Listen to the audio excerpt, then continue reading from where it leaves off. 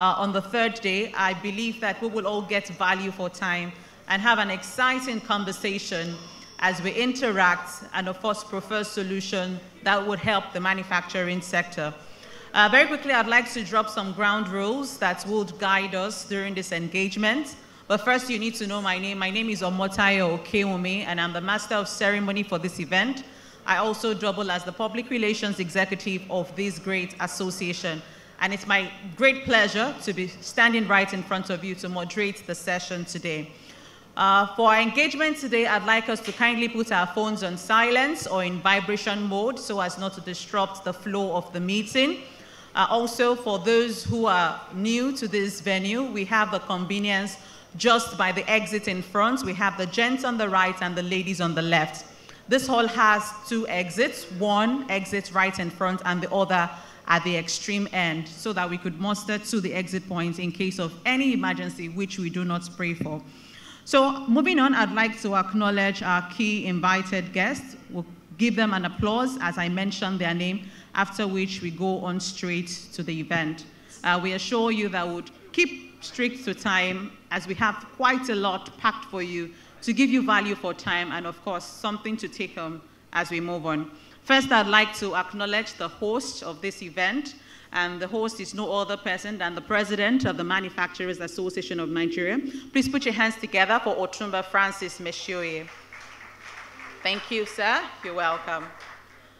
Also, we are expecting our, distinguished guest of honor. I believe when he comes, we would recognize him. He's expected to represent the president of the country. Uh, we believe will join us any moment from now. Also, I have the great honor of acknowledging the former president of this association. He served the association meritoriously, and we're pleased to welcome Chief Kola Jamodu. Please, a round of applause for Chief Kola Jamodu. Thank you so much, sir. Also, a one-time president of this association is here with us. A round of applause for Ambassador Asan Adamu Wakili Adamawa. Please, a round of applause for him. Thank you, sir. In our midst, we have the representative of the governor of Lagos State. She doubles as the Honorable Commissioner for Commerce, Cooperatives, Trade, and Investment. Please, a round of applause for Mrs. Folashade Ambrose Medebem. A round of applause for her. Thank you. In our midst, we also have the immediate past Minister of Industry, Trade, and Investment, is the friend of the house, and we're always excited to see him. A round of applause for Otumba Niyi Adebayo. Thank you, sir. You're welcome. And it's a season of ministers. Our distinguished guest speaker at this event is a former Minister of Finance, former Minister of Industry, Trade, and Investment. Please put your hands together for Olusegun Aganga CON. A round of applause for him. Thank you so much. I tell you, you are in for an exciting time when he starts to deliver his lecture. Also, we have the honor of the representative from UNIDO as the National Program Officer. Please put your hands together for Mr. Osu Otu. Osu Otu, thank you for joining us. And we also have the honor of the Director General of the National Institute of Policy and Strategic Studies, Kuru, Nigeria, Professor Ayo Omotayo. A round of applause for him. Then we equally have the Ambassador of Cote d'Ivoire, His Excellency Khalilo Traore. A round of applause for him. Thank you so much. We also have other dignitaries we're expecting as they come in. I'll do well to acknowledge them. But of course, we can't go on without acknowledging someone who has worked tirelessly with the Secretariat to put this event together and so that everything is seamless. Please put your hands together for the Director General, Manufacturers Association of Nigeria, Mr. Segun Ajayi Kadir, MNI. Thank you so much. Having done that, I'd like us to kindly be on our feet as we take the national anthem to start.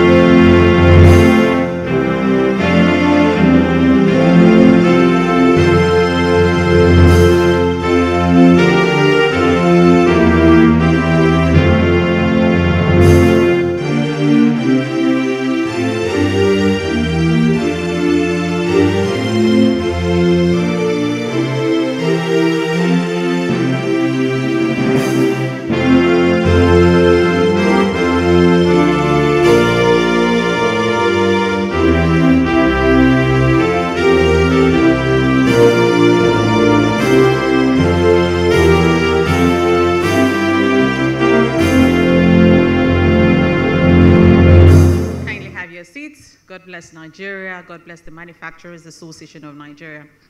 The president of the Manufacturers Association of Nigeria, the um, representative from government present, uh, minister present, uh, the distinguished guest of honor, the speaker present, members of the executive and national council of the association, member companies, manufacturing CEOs, and managing director, welcome. Um, gentlemen of the press, ladies and gentlemen, I'd like to once again welcome you to this beautiful event. It's the third Adeola lecture, and we are very, very glad to have you in our midst. Just so that you could warm up to the person seated close to you, could you look at the person to your right and to your left with a broad smile and tell the person, welcome. It's an honor seated close to you. And we're in for a wonderful time. I hope we're doing that. Could you look at the person to your right? If the person beside you is not smiling, is a suspect, please could you do that? All right, thank you so much. We do not get an opportunity to gather like this all the time. So when we have the opportunity to, it's always good to take advantage of acknowledging the person seated close to us. Uh, we're supposed to have the welcome address of the president, uh, but I'm told that uh, the president is supposed to say one or two things to uh, direct uh, which would be delivered to the president, and the representative of the president is not here. And so we do not want to waste time, so we'll just move on to the next item for now, hoping that he will join us before we eventually have to call the president to give his welcome address, which we're holding on for now. So we'll move on to the goodwill messages, and hopefully, when that is done, we believe the representative will join us. So, to deliver a goodwill message to us at this very important event, I'd like us to put our hands together for the representative of the Governor of Lagos State, Honorable Commissioner for Commerce, Cooperative Trade and Investment, Mrs. Folashade Ambrose Medebem. A round of applause for her. Thank you.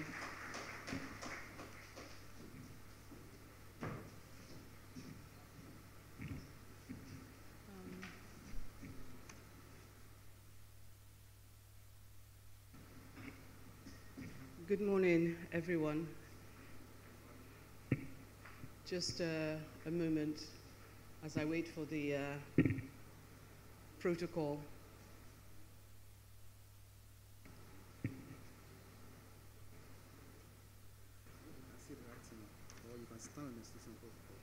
Okay, I'd like to stand on existing protocol. It is a great honor and privilege to be invited to join invited guests at the 51st Annual General Meeting of the Manufacturers Association of Nigeria, which is also featuring the third Odutola lecture and the presidential luncheon. I want to extend my warmest greetings to our amiable president and commander-in-chief of the armed forces of the Federal Republic of Nigeria, His Excellency Bola Ahmed Tinubu, GCFR. I also felicitate with the President of the Manufacturers Association of Nigeria, Otumba Francis Meshioye, and the entire members of the association.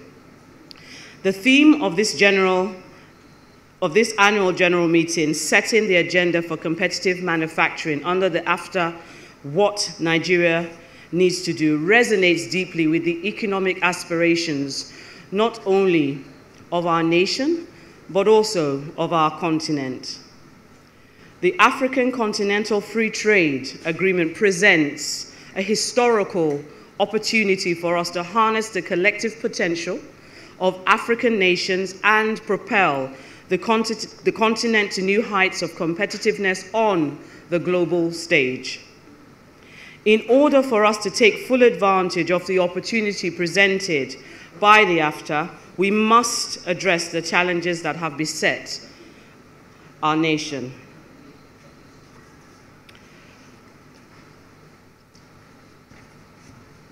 And bear in mind, and bear in mind that this also brings us to the topic of the wealth of experience and new perspectives that will be of immense benefit to us as policymakers and other stakeholders in the manufacturing and service sector of the economy. Our administration in Lagos State recognizes the strategic position of recognizes the strategic position Lagos State occupies and the role we must all play for our country to leverage on the opportunities presented by AFTA. This is why we have continued to prioritize the critical infrastructure and the implementation of policies and strategies aimed at improving the ease of doing business and strengthening the productive capacity of MSMEs across all sectors. We are delighted in Lagos State that this investment is yielding the desired dividends as Lagos State continues to be the preferred destination for both local and foreign direct investment.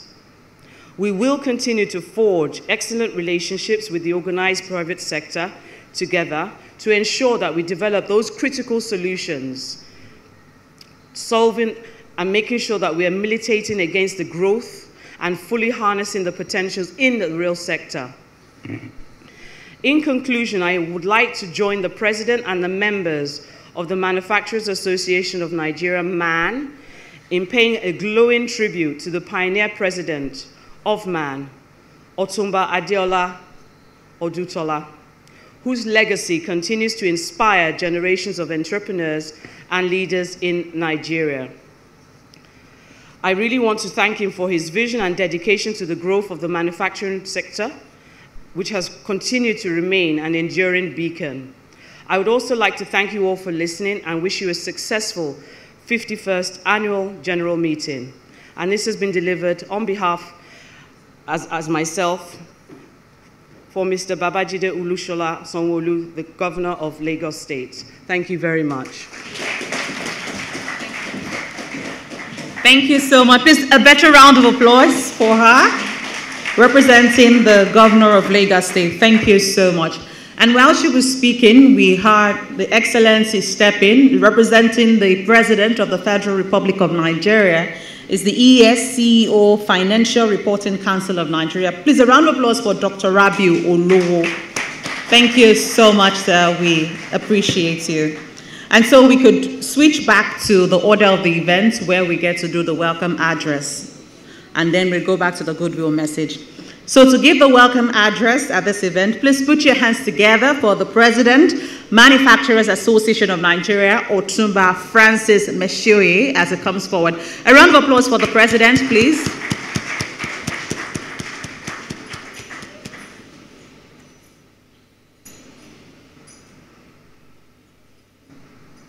All right. Thank you, Mr. President.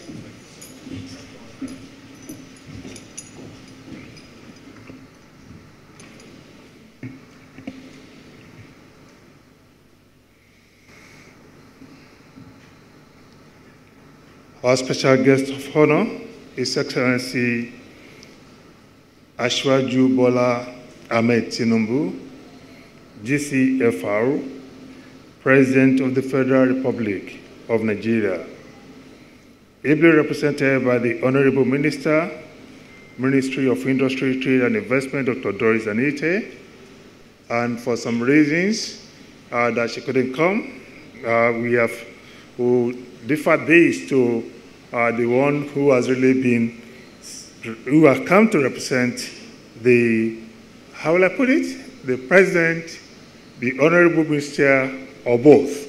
And our brother, uh, the uh, Executive Secretary of Financial Reporting Council, uh, Dr. Oluo. Good morning and you're welcome. Thank you very much. Our distinguished guest speaker, Mr. Olusegun Aganga, CON. Our special guest, His Excellency Otumba Niyi Adebayo, who I just learned this morning because of his passion for the industry and manufacturing business in particular, being named not just a Mr., but a high chief and Otumba manufacturer. So please give, I think you should give a round of applause for him. I did not confer the title, but this title was conferred by no less person by the one-time guru of the industry which actually served. And that's Chief Kola Jamodu, who was former minister of the same Ministry of Industry, Trade and Investment. And was our president for a good four years and have served Manufacturers Association of Nigeria meritoriously for how many years because I will even think of manufacturing. A round of applause for Chief Kola Jamodu, please. Thank you, sir. You're welcome. The representative of uh, Mr. Governor, um, own Mrs. Folashade Ambrose Medebe, Honorable Commissioner for Trade, Commerce, Cooperative and Investment, Lagos State. Uh, when I used to be the chairman of the Ikeja branch, that used to be, I call my ministry. And I'm so glad to have you in this occasion. I think it will be one of the rare occasions we have not just Mr. Governor being represented, but even having someone, the commissioner, who's actually his domain, that manufacturing sector reside in Lagos State, to have come to a national event like this. Kindly join me to put a round of applause to our new commissioner. Distinguished guests, and ladies and gentlemen, past president here present, uh, past president, um, ambassador and Wakili, and other past president here present, and I've mentioned Chief Kola Jamodu and the rest. I'm so happy to have you. Uh, I can see my past president, my past president, immediate past president. You have changed. Please, kindly stand up. Let us see that you have changed. You have changed. I was expecting to see you here. You're welcome. Thank you so much. I will have, um, it will have been very much a big problem for me if I have not recognized you. You have put sunglasses that I will not know. Thank you. I was able to avoid the fine I would have gotten because you handed over this, handed over this man to, uh, to me. Thank you. You're welcome. I'm so happy to have you on this occasion. Gentlemen of the press, it is my great pleasure to welcome you all to the third Adeola Odutola lecture and presidential luncheon. Made the last part of activities marking the 51st annual general meeting of the Manufacturers Association of Nigeria. On behalf of the National Council and members of MAN, I'm delighted to welcome once again our guest of honor, His Excellency President Bola Ahmed Tinubu, GCFR. We are indeed honored by Mr. President's kind acceptance of the invitation. We understand that it's not with us today due to the exigencies of his exalted office. We are, however, delighted that he is represented by the most appropriate and able minister and being ably represented by the ES uh, FRC. Mr. President, sir, I also use this opportunity to congratulate you once again on your election as the President of the Federal Republic of Nigeria. This is the first man AGM after your inauguration, and we are pleased to have Your Excellency ably represented there. We are enthused by the presence of the Honorable Minister having sent warm regards to us, though we really expect, expect her so passionately. You know that these are early days since your assumption of your office as a minister. Your dignified presence is a testimony of your commitment to fostering a strategy and close partnership with your first constituency the manufacturing sector of our economy. Honorable Minister, you are the number one ambassador of Mr. President in the task of actualizing his promise to prioritize the growth of domestic manufacturing. We warmly welcome you to the third Adeola Odutola lecture and presidential luncheon of our great association. This is just to remind you again, is the leading sector or specific business membership organization in Africa. I would formally want to equally honor, uh, uh, to equally appreciate the presence of our illustrious Nigeria, a consummate accountant, an accomplished economist, and international transformational economist who is our guest speaker today to deliver the third Adeola Odutola lecture. He's no other than a former two-time minister of the Federal Republic of Nigeria, a former man managing director of Goldman Sachs, London, the founder of Nigeria Leadership Initiative and Aspen Global Leadership Network, Mr. Olusegun Olutoyin Aganga, CON. You all remember him as a former Minister of Finance as well as Minister of Industry, Trade and Investments of Nigeria. You are very much welcome, sir, our guest speaker. We are all delighted to have His Excellency Otumba Niyi Adebayo, a former governor of Ekiti State and immediate past Minister of Industry, Trade and Investment, to join us on this occasion. We are happy to have you present the book Turning the Wheel, a story of the Manufacturers Association of Nigeria. This is by way of public presentation of the foreword that you graciously appended in the book. Your Excellency Otumba Niyi Adebayo and Otumba manufacturers, you are so much work. This AGM, you agree with me, my distinguished members and colleagues, that it is an exceptional one. We are blessed with the unprecedented presence of three outstanding Nigerians. Two of them, are, actually the three are former ministers of this very industry under which, under whose umbrella Manufacturers Association of Nigeria reside. And we're so honored too to have the representative of our able president of the Federal Republic of Nigeria amidst us. We are all very happy and we are blessed at this occasion and we believe your blessings really inspire the growth of manufacturing sector and raise the bar that you are hitherto trying to attain in the past years.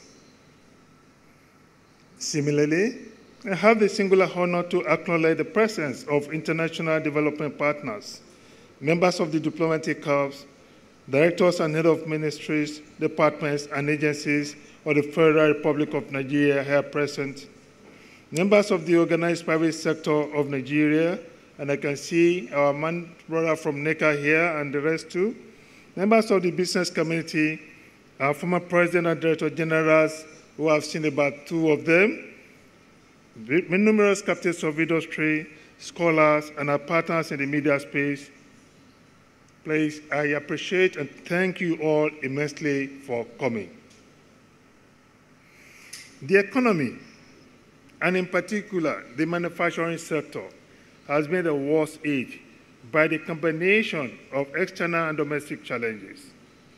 Starting from 2015-2016, the Nigerian economy expressed a recession triggered by the global financial crisis that was due to the sharp decline in the oil market. And just as we are beginning to recover from the recession, a global health pandemic emerged, disrupted economic activities and global supply chains, pose a significant threat to businesses and our industry in particular. Your Excellency, Mr. President, sir, our association has taken due notice of your policy pronouncements, particularly within your first 100 days in office. Some bold policy actions, we agree. This include the removal of fuel subsidy and introduction of money float of the exchange rate. This have elicited the commendation of most economic actors and stakeholders. But the fallout of those measures have equally thrown up some policy imperatives that should be addressed in order for the economy to rebound from the for the citizenry to appreciate and reap the long-term benefits of the various reform measures that you have just pronounced. In addition, we seek your intervention to facilitate an engagement between Central Bank and MAN to discuss the recent lifting of the restriction on access to foreign exchange on 43 items. Your Excellency, we are confident that the outcomes of conversation will allow the CBN to achieve its objective of reducing pressure on the parallel market and effective control of the foreign exchange administration. At the same time, it will ensure that the domestic production is not overrun by influx of imported alternatives and our raw materials that are locally available could be procured using the official market. Your Excellency, in inception, man has been at the forefront of promoting and advancing the industrial development of our nation. In the course of his journey, our association has engaged in impactful collaborations and continuous engagement with the Nigerian government and other relevant stakeholders, both within and outside of the country. MAN has consistently provided a platform for manufacturers to come together to share their expertise and resources in order to expand the frontier of economic development and foster gross broader value chain to achieve sustainable economic growth and development. The Minister of Industry, Trade and Investment remain our greatest ally. Your ministry is a leader that will climb to reach the presidency and our ambassador to other ministries as well, including departments and agencies of government. We are confident that you will raise the bar in this regard and our collaboration and partnership will grow in leaps and bounds during your tenure. Distinguished guests, ladies and gentlemen, the theme of this year's annual general meeting is setting the agenda for competitive manufacturing order after What Nigeria needs to do. The motivation behind this theme is the manufacturing sector's successful low performance over the years. At the same time, we are looking at the promising growth trajectory and development opportunities that are embedded in the African Continental Free Trade Agreement for the Nigeria manufacturing sector.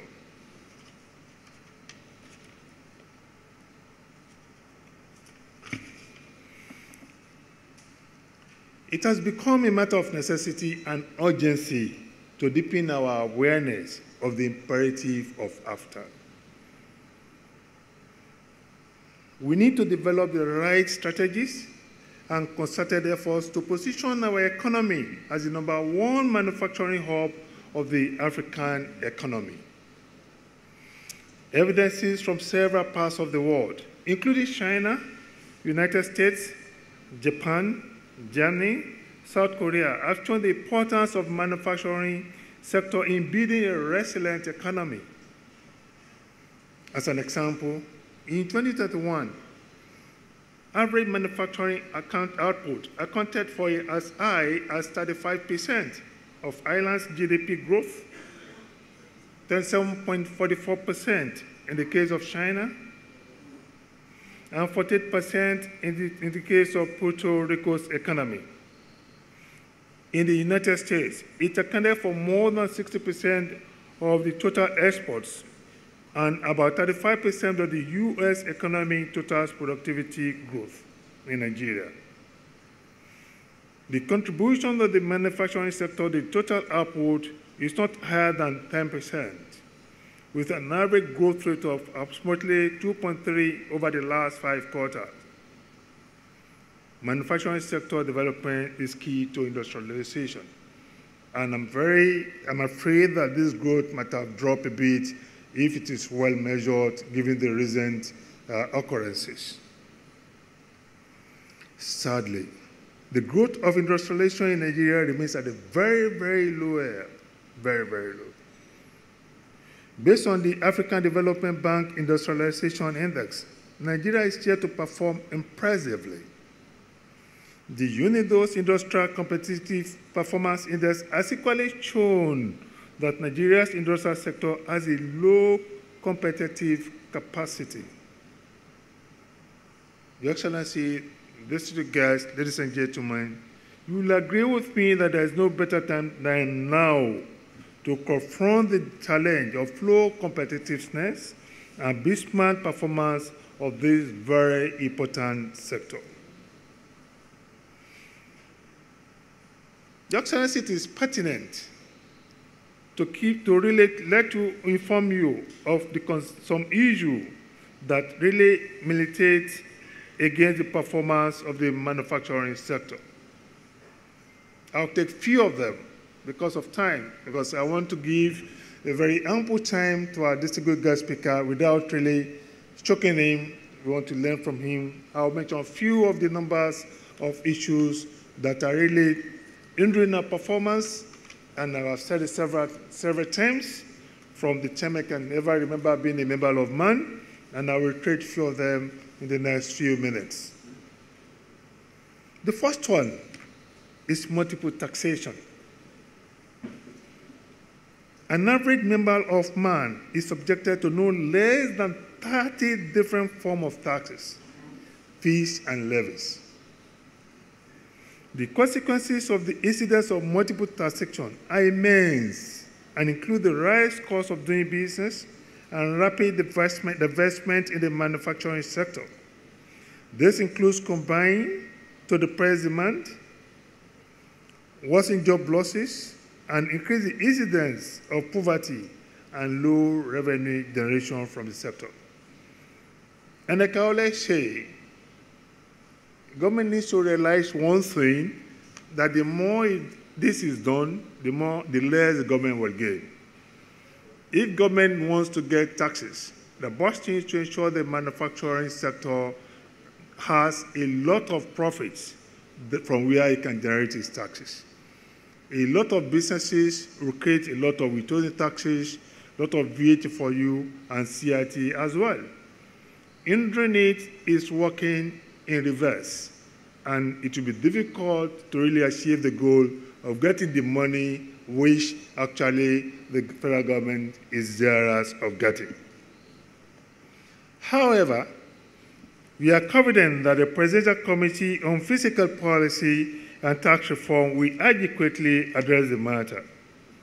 Our Director General represents the organized private sector on the committee, and we look forward to working jointly with the representative of your Ministry of Industry, Trade and Investment on the committee to make the case of fair taxation of the manufacturing sector. Another important thing that we suffer of, high cost of borrowing.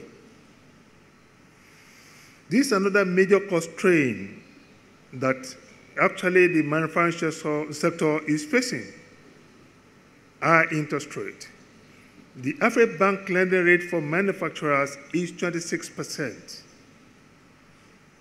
We applied the 9% interest rate on the 75 billion loan facility for a minimum of 75 companies that was recently promised by Mr. President. While commending His Excellency for this initiative, we are hopeful that it could even come at a lower rate and MAN will be given the opportunity to work with the government to determine deserving sectors, agree the disbursement modalities, and join the evaluation and monitoring of its effectiveness. We believe that this inclusive approach will guarantee more success and create a basis for granting much more, a bigger emergency fund for the beleaguered manufacturing sector in the near future. If I do not mention the next item, I would not have done anything worthwhile with my speech of mentioning. That is infrastructural inadequacies or deficiency, as some people will say it. Poor infrastructure, including inadequate power supply, poor road networks, and inefficient port facilities are serious impediments to the growth of the manufacturing sector. We look forward to government to improve investment and undertake effective reforms to guarantee reliable power supply, good road networks, and efficient power system. What about the low, local content development and the patronage of made in Nigeria goods? Nigeria has a low local content adoption and patronage of made in Nigeria products is very, very low. We urge His Excellency to ensure effective enforcement of local content and patronage regulations.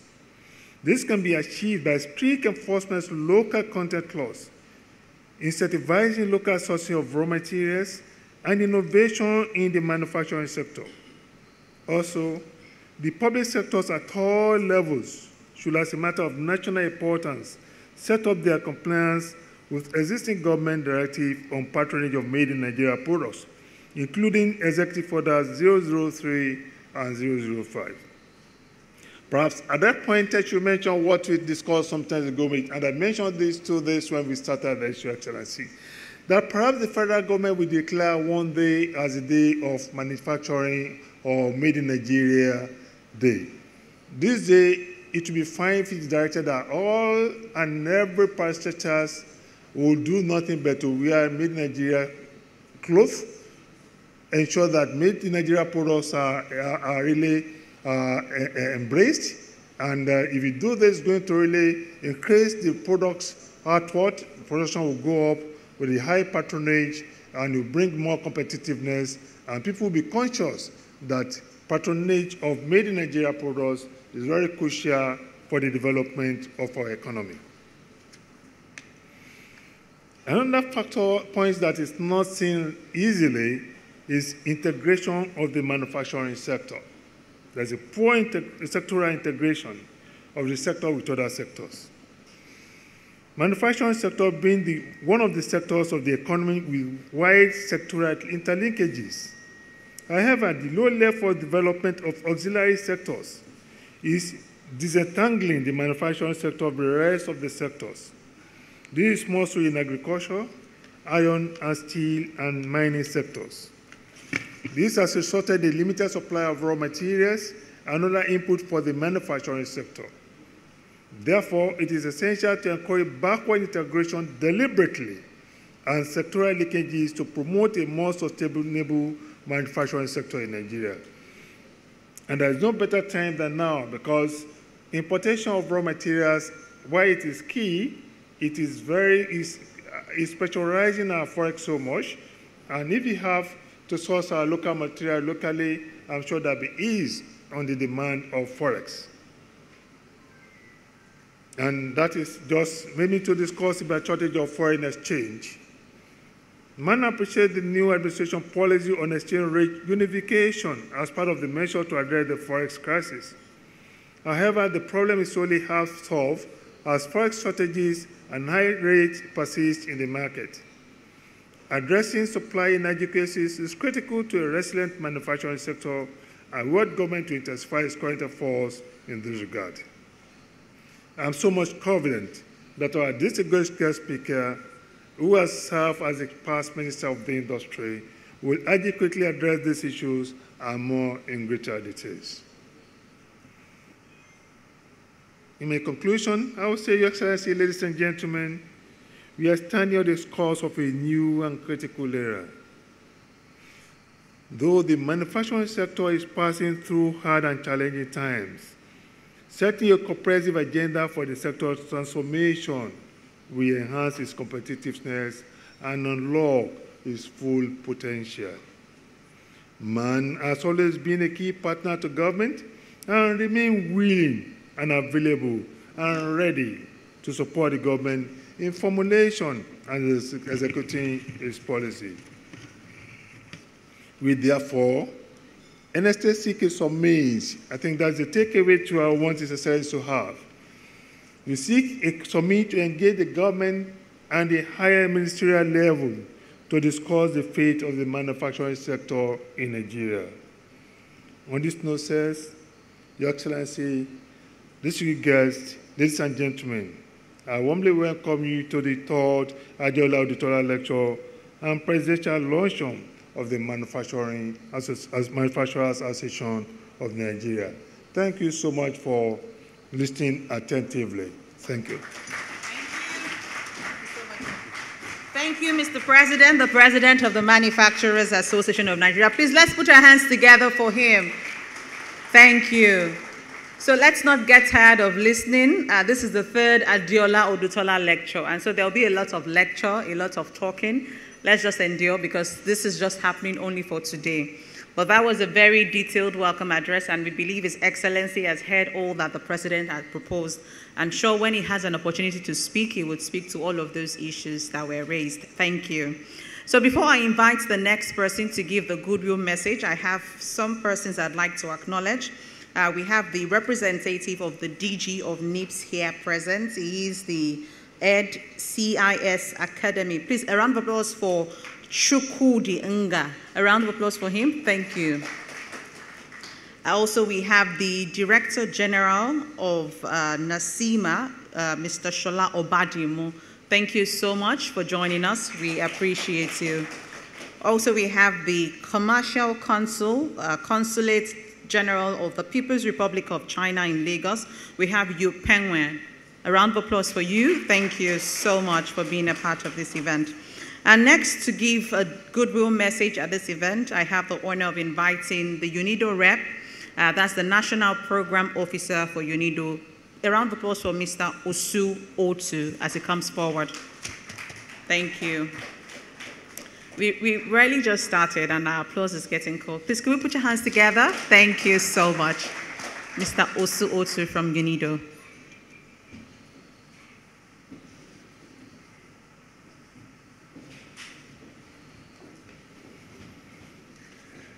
The representative of the President of Federal Republic of Nigeria, the representative of the governor of Lagos State,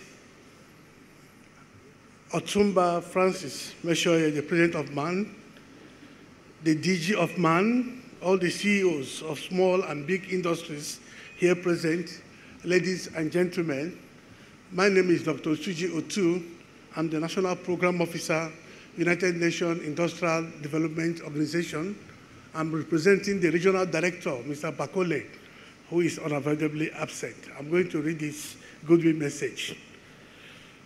I wish to express my sincere gratitude to the President and Director General of MAN for inviting me to the 51st Annual General Conference AGM.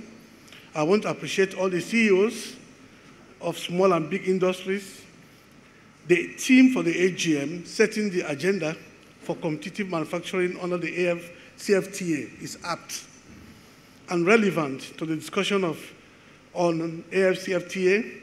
It gives a deep reflection over the growth path of the manufacturing sector in Nigeria and Africa. It also examines the role of the manufacturing sector in the actualization of the AFCFTA and the integration of the African economy as envisioned in the Agenda 2063. Ladies and gentlemen, the manufacturing industry is crucial to Nigeria's economy. It plays significant role in generating employment, driving productivity and economic growth, as well as contributing significantly to the country's GDP through wealth creation and increased tax revenue for the government. The sector has equally been identified as key in the nation's quest for diversification away from oil and gas dependency. Unfortunately, Nigeria's manufacturing industry has long struggled with a host of challenges that have prevented it from achieving its full potential.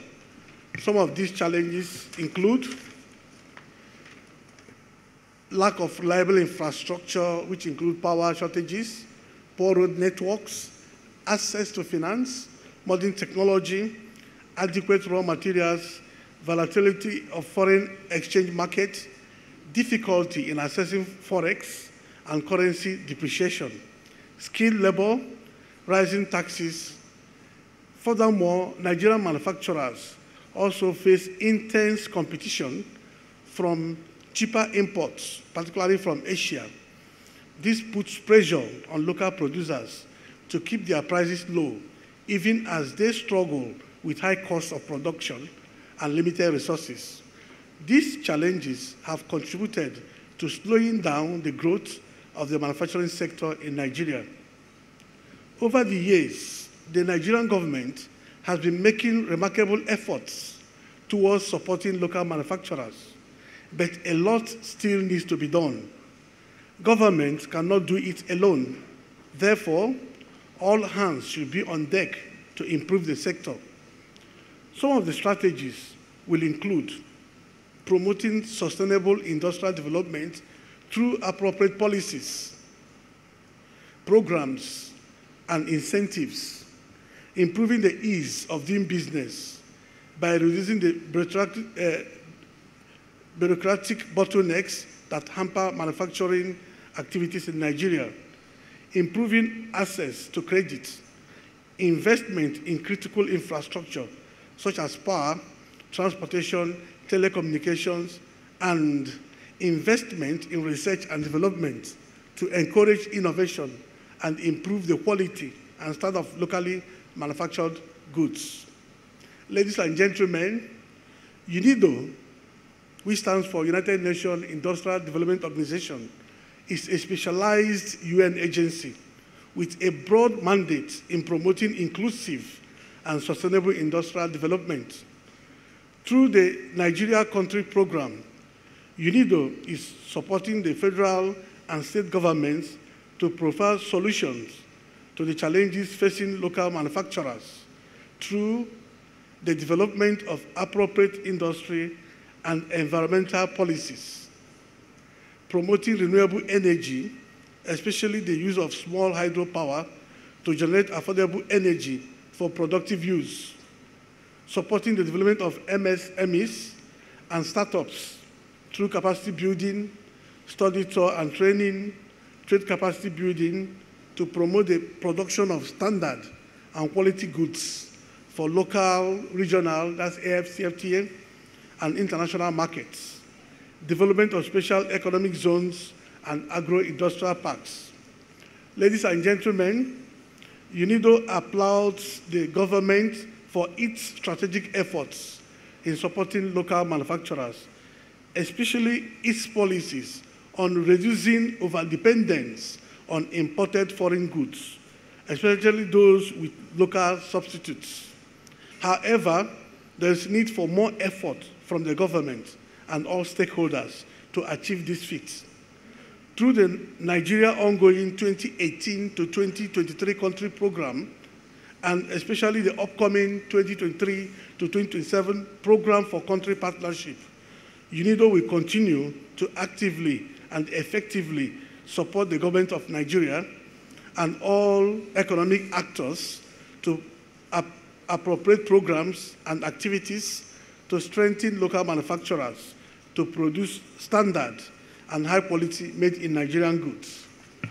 Ladies and gentlemen, in conclusion, I would like to congratulate the Manufacturers Association of Nigeria, its members, and all manufacturers here present and pledge UNIDO's continuous commitment in enhancing the excellent long-standing cooperation with the federal government of Nigeria and reaffirm our support and collaboration to strengthen local manufacturers to produce standard and high quality made in Nigerian products to promote economic growth, sustainable development, and drastically reduce poverty. On this note, I wish you all a successful AGM God bless Nigeria. God bless Africa. Thank you. Thank you. Thank you so much, Yeah, sir. thank you. Thank you. All right, we move to the next goodwill message, uh, which is the last for today, except um, if I'm informed otherwise. Uh, but I'd like to acknowledge um, principals who have served this association, and we're pleased to have them in our midst. We have two former director generals here, in person of Mr. Jide A. Mike. A round of applause for him. Thank you so much for joining us. And we equally have Chief Remy Ogumefon with us. A round of applause for him as well. Thank you.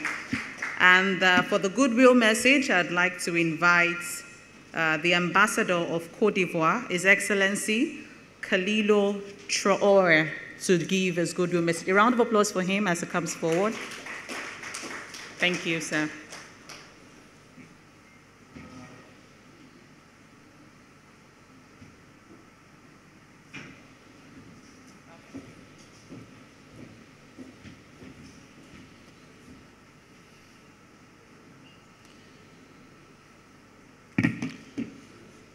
Your Excellencies, eminent guests here present, allow me to stand on the protocol already established.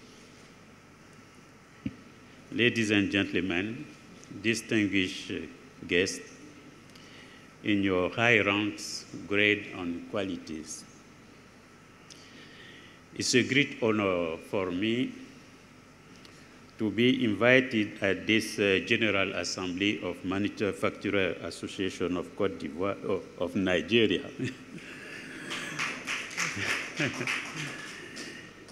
it's uh, even greater honor to offer me the opportunity to address this august assembly. I express uh, all my gratitude and thanks uh, to the Honorable President of uh, MAN, Mr. Meshioye, I hope I pronounce very well, his Vice Presidents, and all his collaborators. On this occasion, allow me to convey a greeting from Cote d'Ivoire, and particularly from the Confederation of uh, Large Enterprises of Cote d'Ivoire, the counterpart of your association.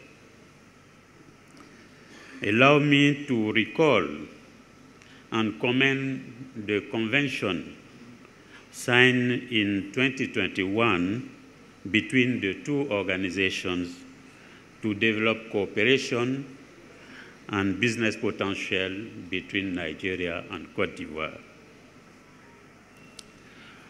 Ladies and gentlemen, some of you who already know Cote d'Ivoire may testify what I can tell you about the dynamics of uh, Cote d'Ivoire economy. Indeed, Cote d'Ivoire is currently one of the leading country, African countries in terms of economic growth since more than 10 years. This growth is the result of a solid and uh, stable governance and investments coming from domestic and foreign investors.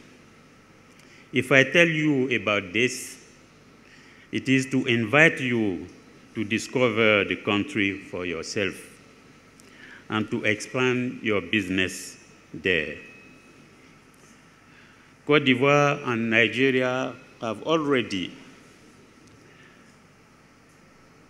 commercial and economic exchanges in several areas, but we are still far from the potential between the two countries.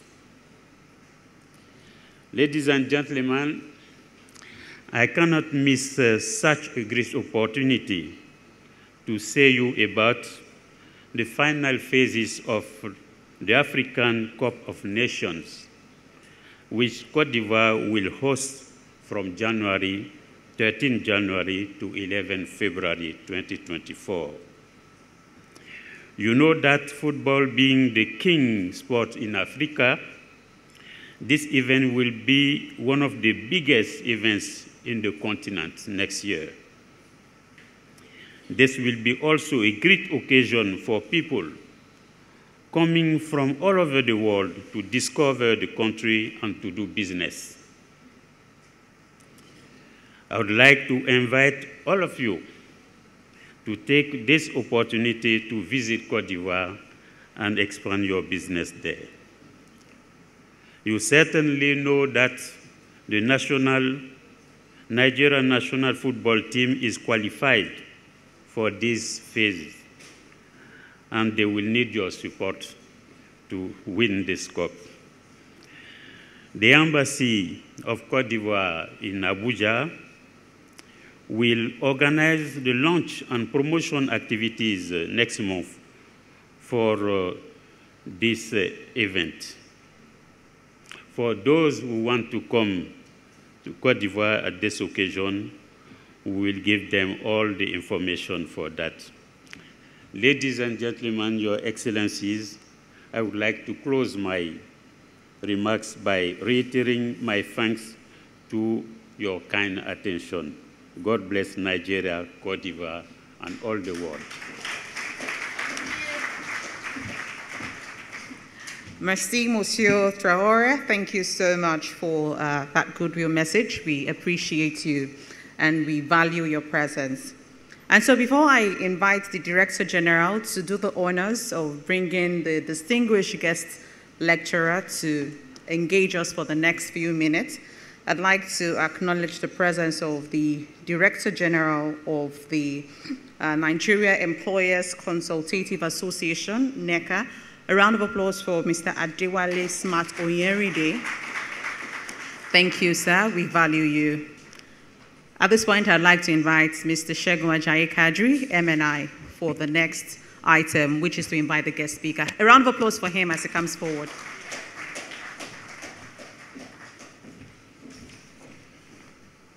Uh, thank you, Omotayo. Distinguished guests, ladies and gentlemen, my duty here is very simple and straightforward. I'm trying to bring to you a son of Africa that we are very proud of, somebody who has demonstrated uncommon commitment to the development of his country and his continent. I'd like to give you a brief about our distinguished guest speaker. It's a very short one because if I make it long, that will be the guest lecture itself. Olusegun Aganga, CON, is a chartered accountant with professional career extending over four decades in the private and public sectors. He was Nigeria's Minister of Finance and chairman of the economic management team from 2010 to 2011. And then its Minister of Industry, Trade and Investment from 2011 to 2015. He was a major contributor to, the, to making Nigeria the premier destination for investment in Africa. He was also responsible for many transformational milestones in Nigeria, including establishing the country's sovereign wealth fund, issuing the nation's first Eurobond, structuring and sourcing the finance for the first standard gauge rail in Nigeria, and developing the country's industrial revolution plan.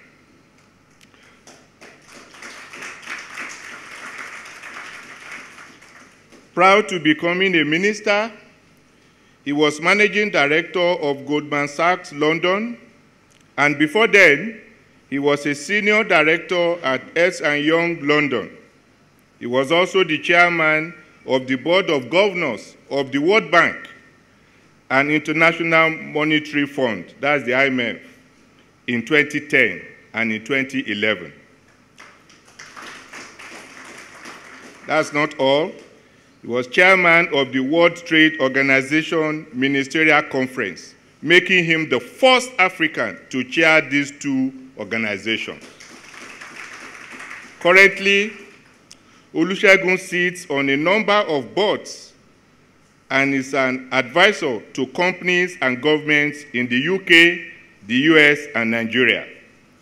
He is the founder of the Nigerian Leadership Institute, the chairman of the board of Leadway Pensure PFA Limited, a board member of TechnoServe in the US, an advisory board member of the Queen's Commonwealth Trust, and a member of the Investors Advisory Council of Time Partners in the UK. Thank you. Olusegun is the author of a bestseller, Reclaiming the Jewel of Africa. I'm honored and privileged to bring to you Mr. Olusegun Aganga, CON, to deliver the distinguished lecture of the third Adeola Odutola lecture series. Thank you very much.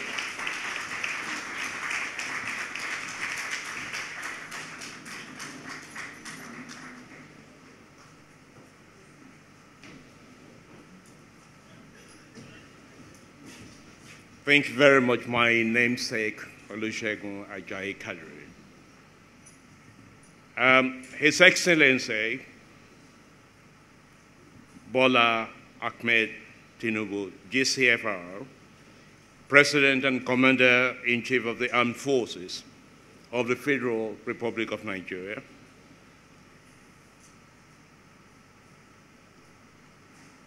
the Governor of Lagos State, ably represented here today, the President of MAN and Council members, and of course, the past presidents of MAN seated there. Oh, They all seated here, the two of them, all seated here. It's my pleasure to have you, to see you. And of course, the immediate past Minister of Industry, Trade and Investment, Otumba Niyi Adebayo. Allow me, distinguished ladies and gentlemen, to stand on the existing, the protocol already established. I am delighted and honored to be the guest speaker at this third Adeola Odutola lecture as part of the 51st annual general meeting of the Manufacturers Association of Nigeria. I have been asked to speak on the theme, setting the agenda for competitive manufacturing under the African Continental Free Trade Area, what Nigeria needs to do. But because of time constraints, I shall be delivering an abridged version of the lecture. A copy of the full lecture has already been delivered to man.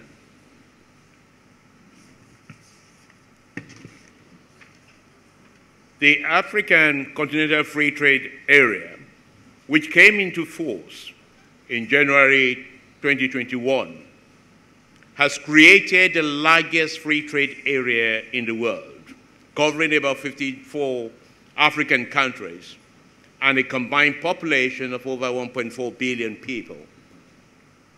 This landmark agreement opens up a plethora of opportunities for African for intra-African trade and economic collaboration.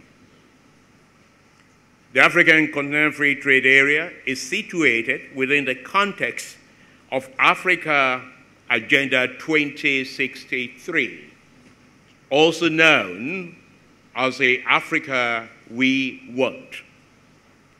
Africa Agenda 2063 is a strategic framework developed by the African Union to guide the continent's development over the next five decades, from 2013 to 2063.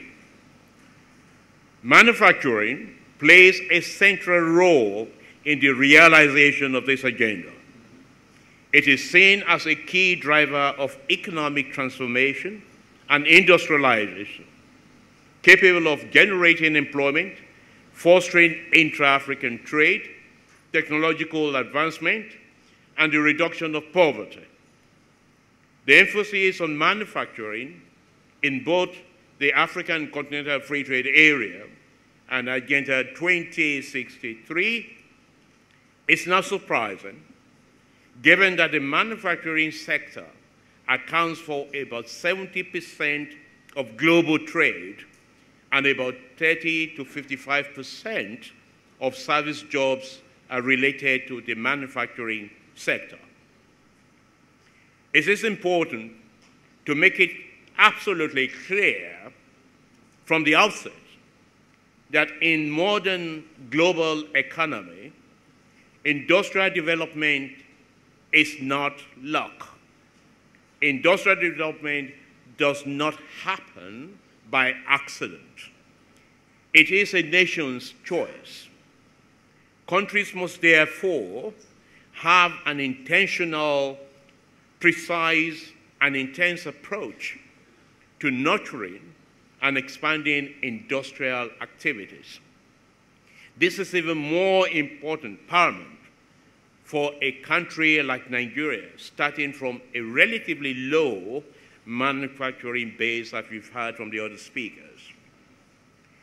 Therefore, in setting the agenda for Nigeria's competitive manufacturing, I would first of all like to share some of the initiatives and actions other countries, particularly Nigeria's competitors in and outside Africa, have taken to improve their competitiveness.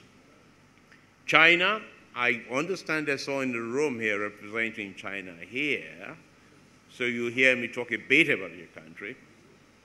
China remains the largest exporter into Africa and will remain the biggest competitor in Nigeria and other African markets, even with the African Continental Free Trade Area in place.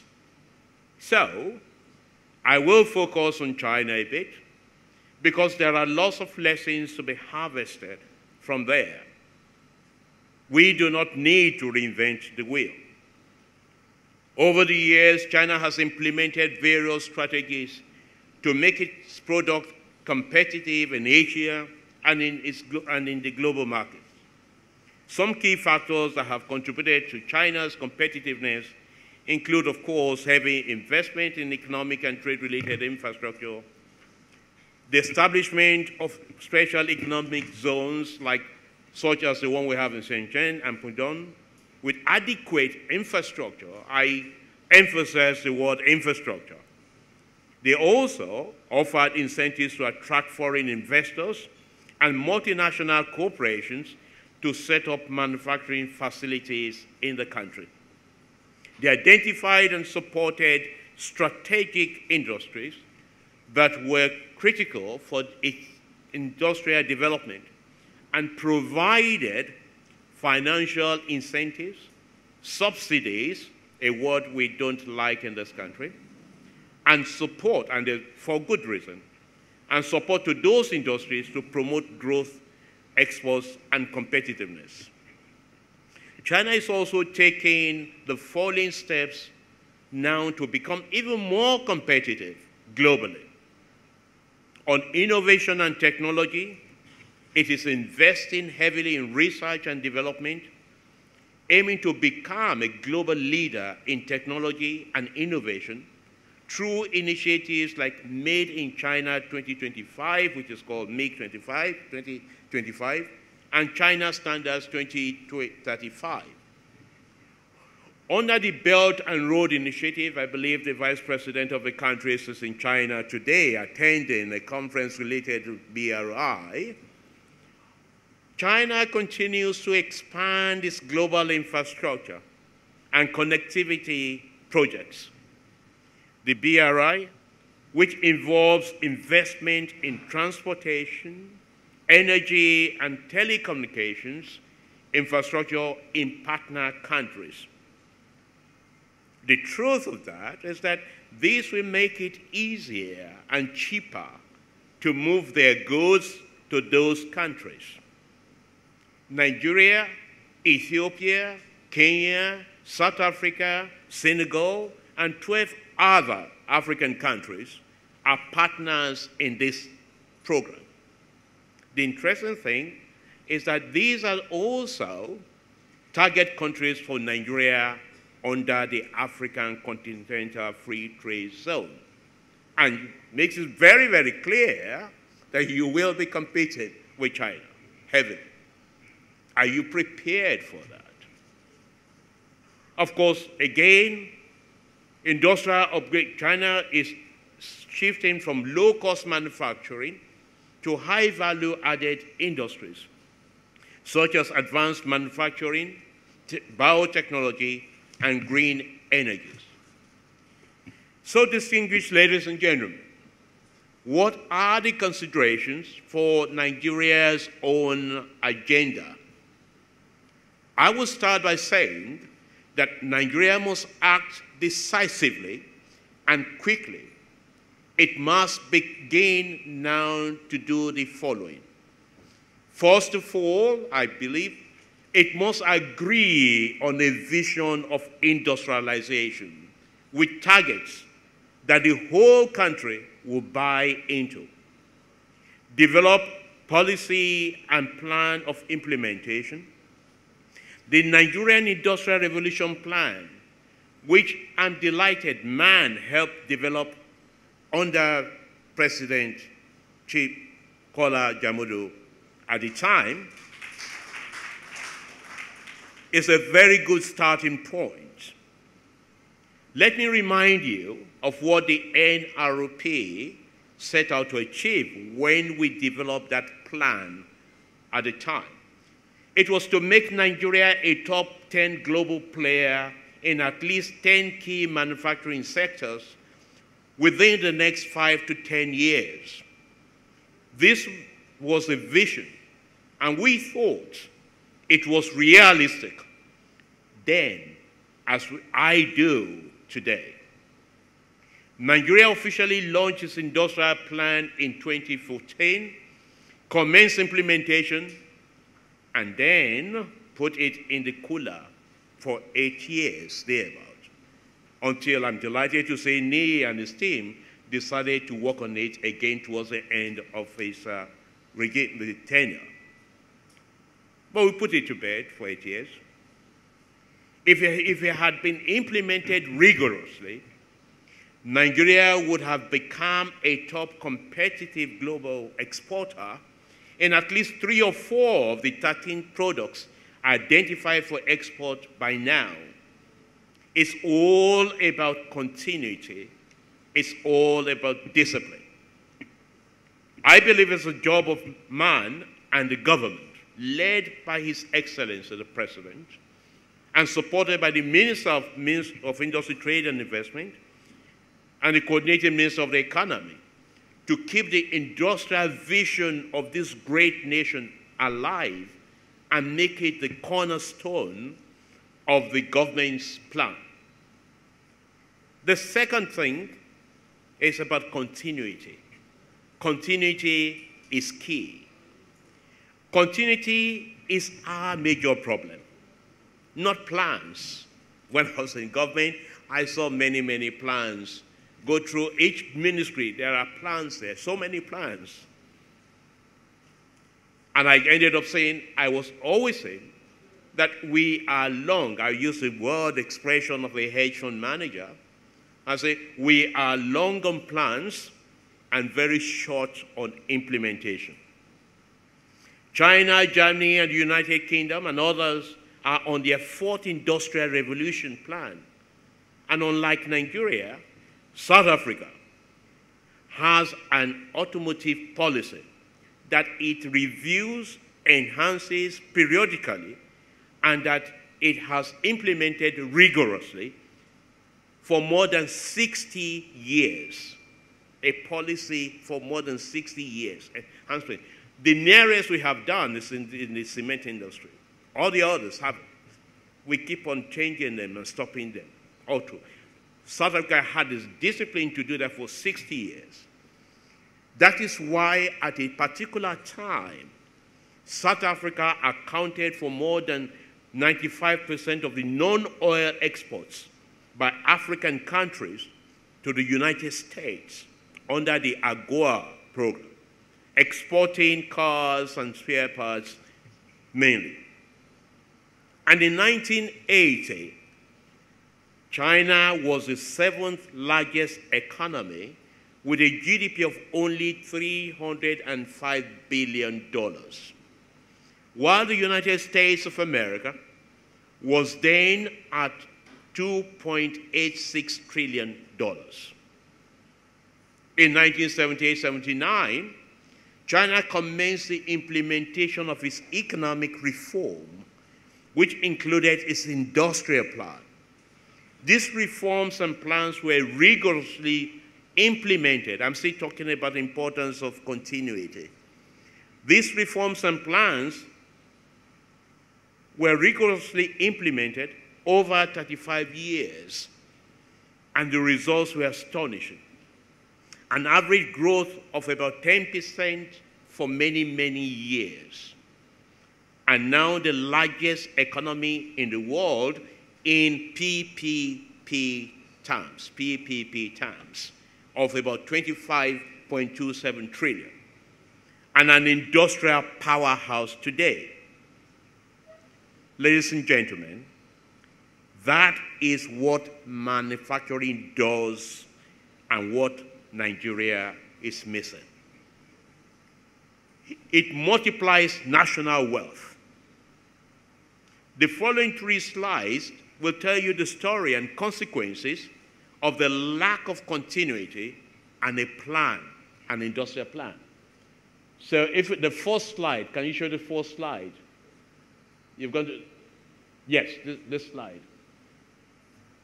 Um, it's not shown, but if you look at the numbers, there should be if you look at the numbers, the numbers will tell you, even without looking at the trend itself, that those numbers tell you that the best year for industry uh, was between 2011 and 2014. That was when I think there was active collaboration between man and the government. Nigeria, these, these numbers will tell you that Nigeria has been deindustrializing for a while. Not improving, you've been deindustrializing. It will also tell you that when government promotes and supports industrialization, the industry responds positively and we all benefit as a country. If you look at the numbers, you will see that manufacturing growth was under 4% until 2011, when the growth was about 17.8% in 2011, from 4% to 17.8%. The double digit growth was maintained every year, reaching a peak of 24.6% in 2012.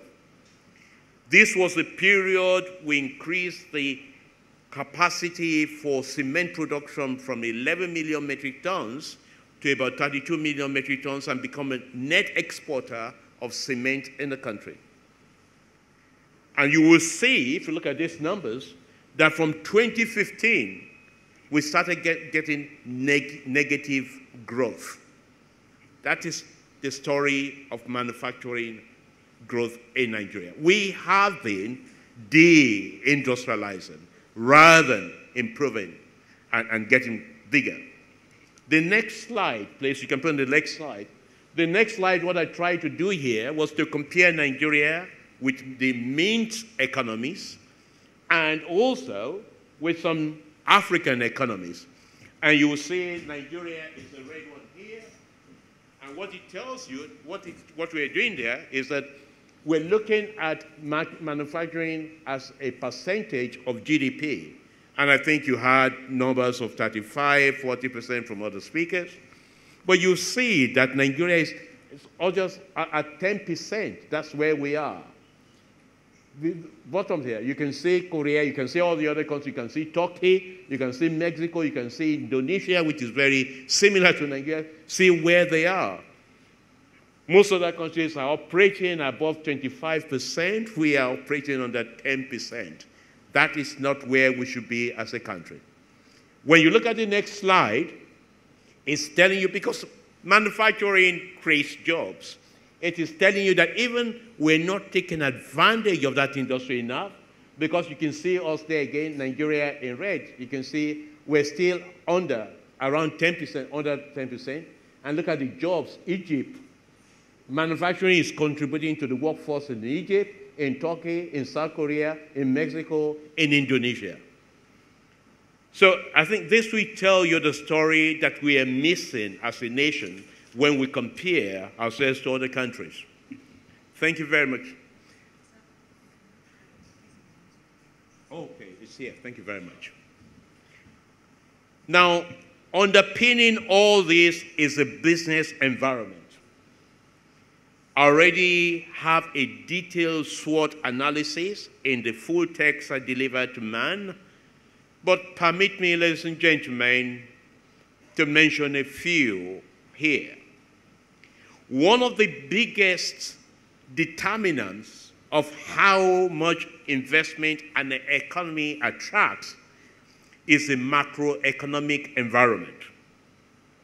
An environment where inflation is at a record high level, still rising, exchange rates are high and volatile, and a large percentage of our national income is going towards servicing debts cannot foster the kind of stimulus our economy needs.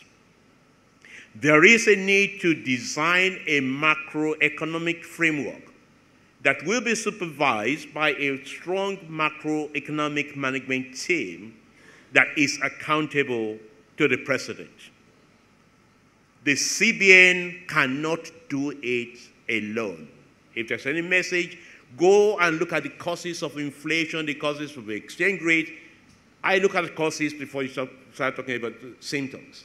When you look at the causes, you will find out that CBN alone cannot address this problem. You need a team of the economic ministries to work together to get this done. And this is what I am proposing for the country to do. CBN will do its best,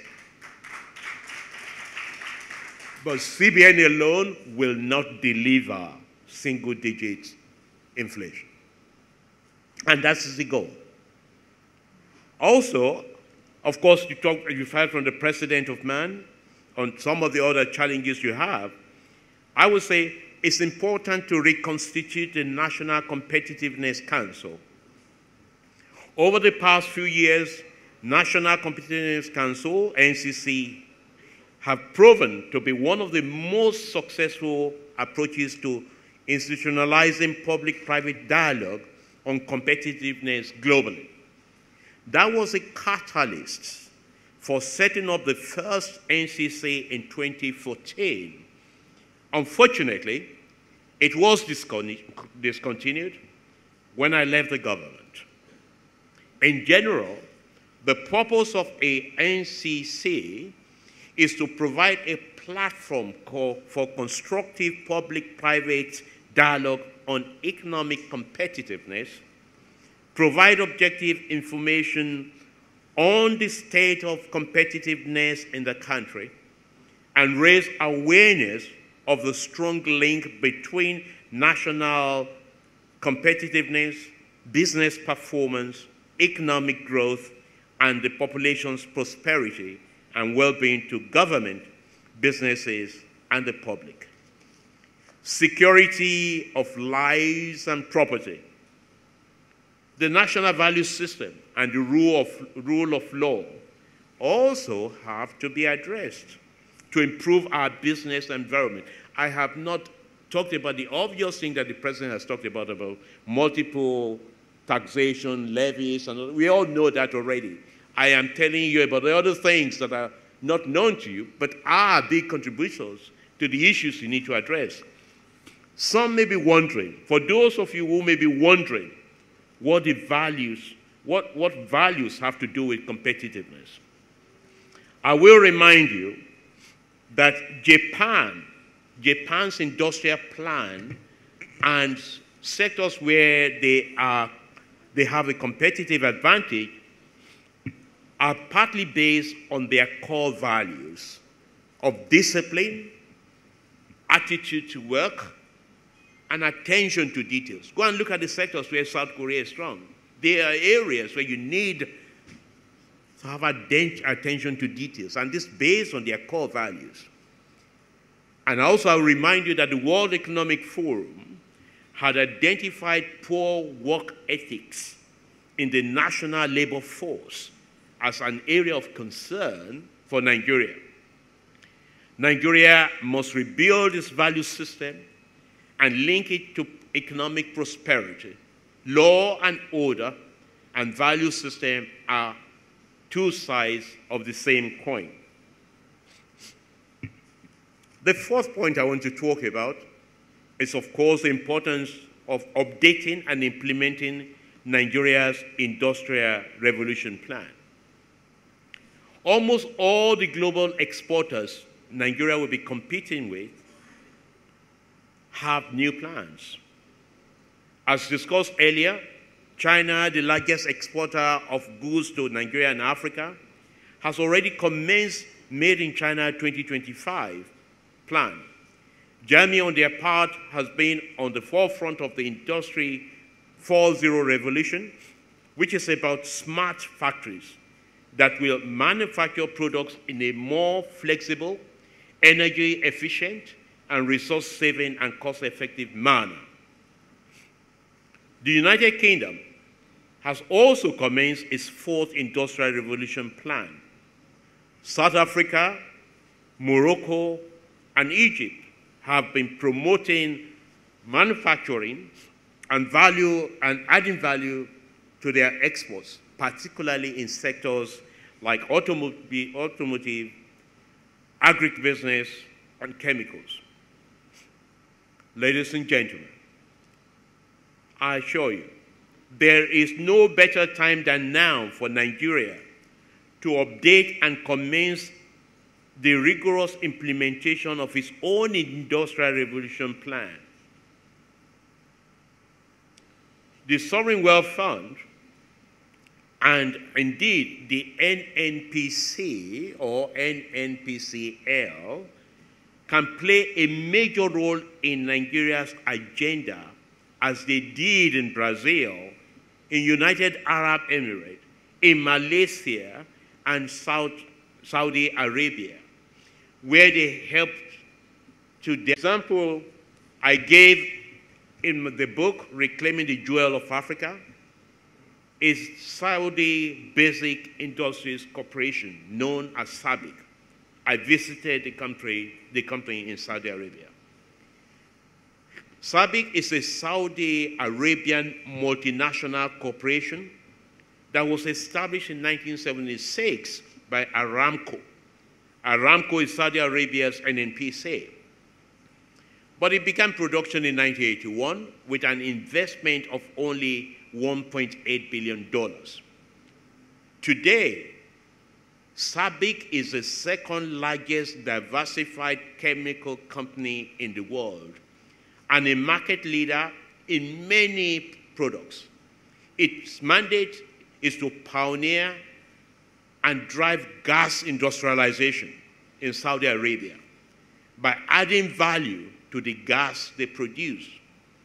The company had total assets of about $83 billion at the end of December 2022, operates in 50 different countries, employs more than 31,000 people, and generated about $47 billion in sales only in 2022.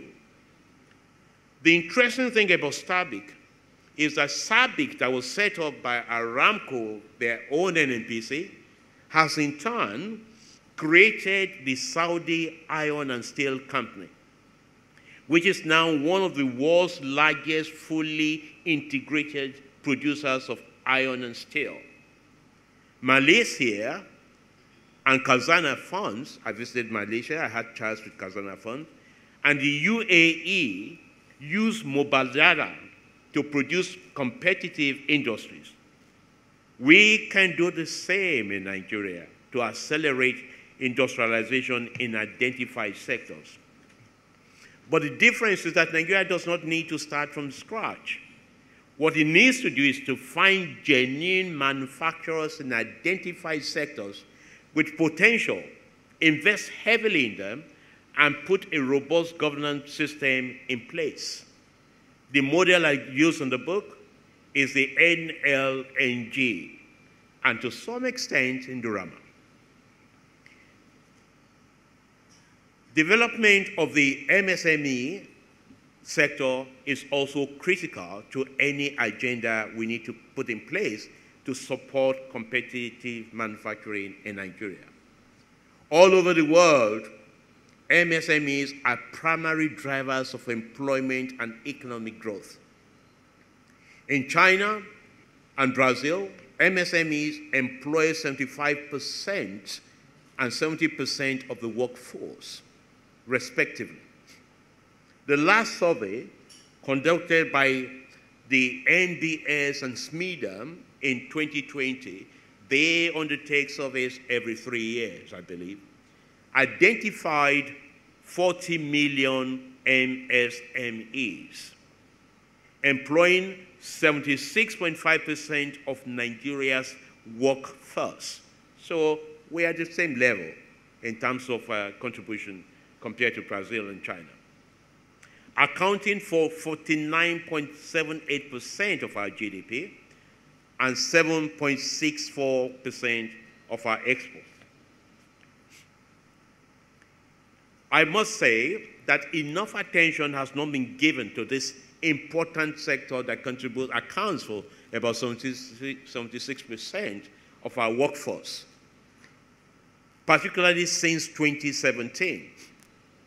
According to the survey by NBS and SMEDAN, the number of enterprises in the sector grew by 20 million from 17 million in 2010 to 37 million in 2013. Again, the same year that you had all those double digit growths between 2011 and 2014. Between 2013 and 2017, it grew by only 4 million.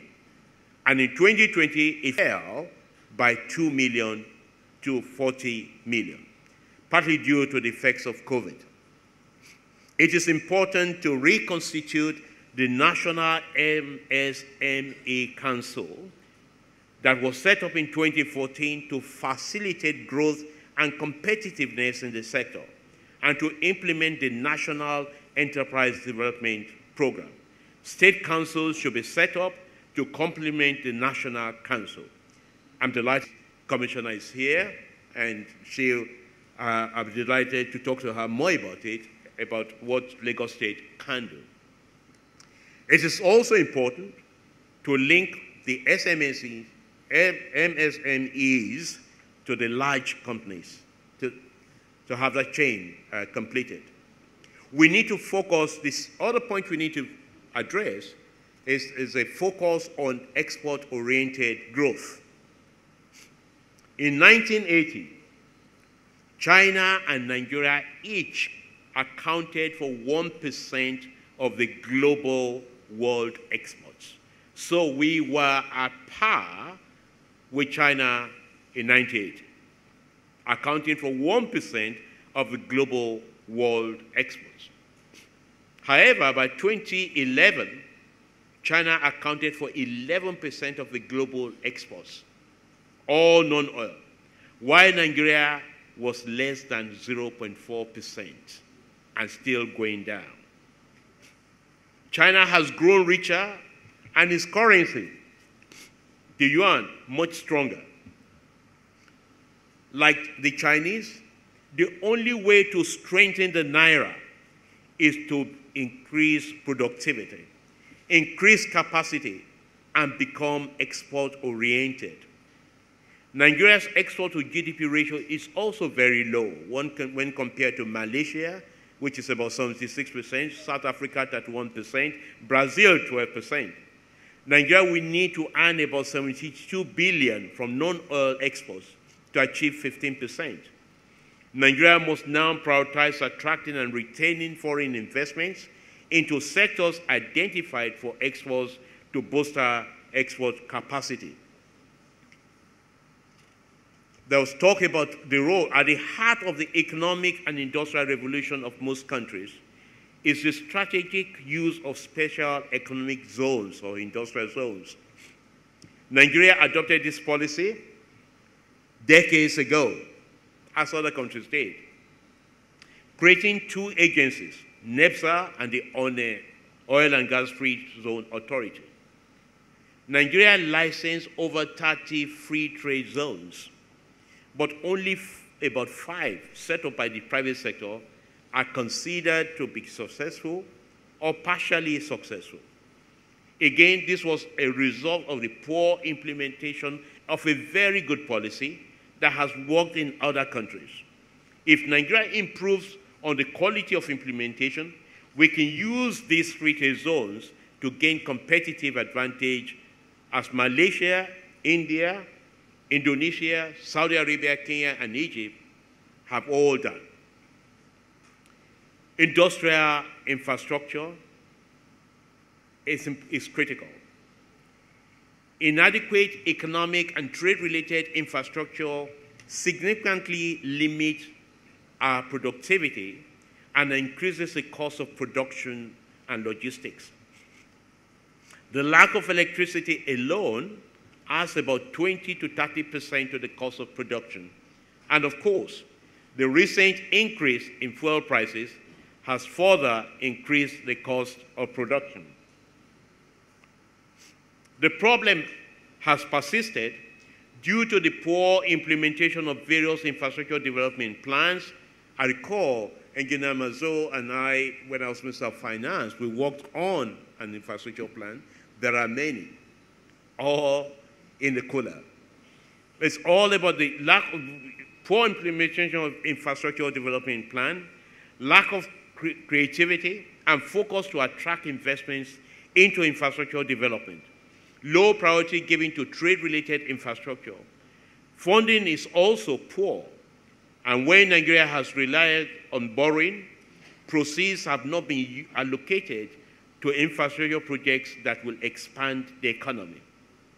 Again, the relevant ministries need to come together to get this sorted out. Some large companies have started using palm kernel shells, PKS, as a source of energy. And I must say, it has been successful. It invites the private sector to scale up this alternative source of energy for industrial use. The representative of UNIDO talked about standards. I will talk briefly, I will expand on what it talked about. When we talk about standards, we're talking about quality of standard infrastructure. So when you talk about infrastructure, it's not about you have the, the hard infrastructure, you have the soft infrastructure, you have about digital apart from a very low manufacturing value at base, the major problem with Nigeria's export of non-oil commodities and competitiveness is standards. Poor compliance with phytosanitary measures has caused Nigeria to have one of the highest levels of rejects of agricultural produce exports to Europe and the United States.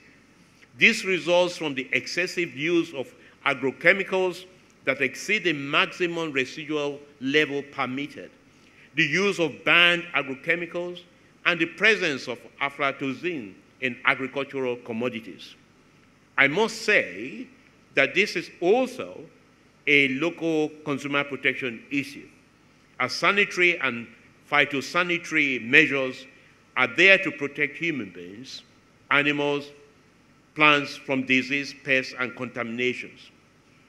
Again, we commenced a project to build a quality infrastructure nine years ago, working with UNIDO and funded, funded by the European Union.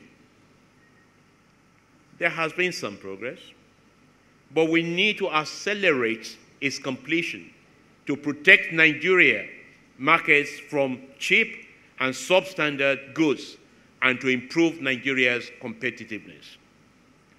The president of MAN talked about finance. He talked about access to finance.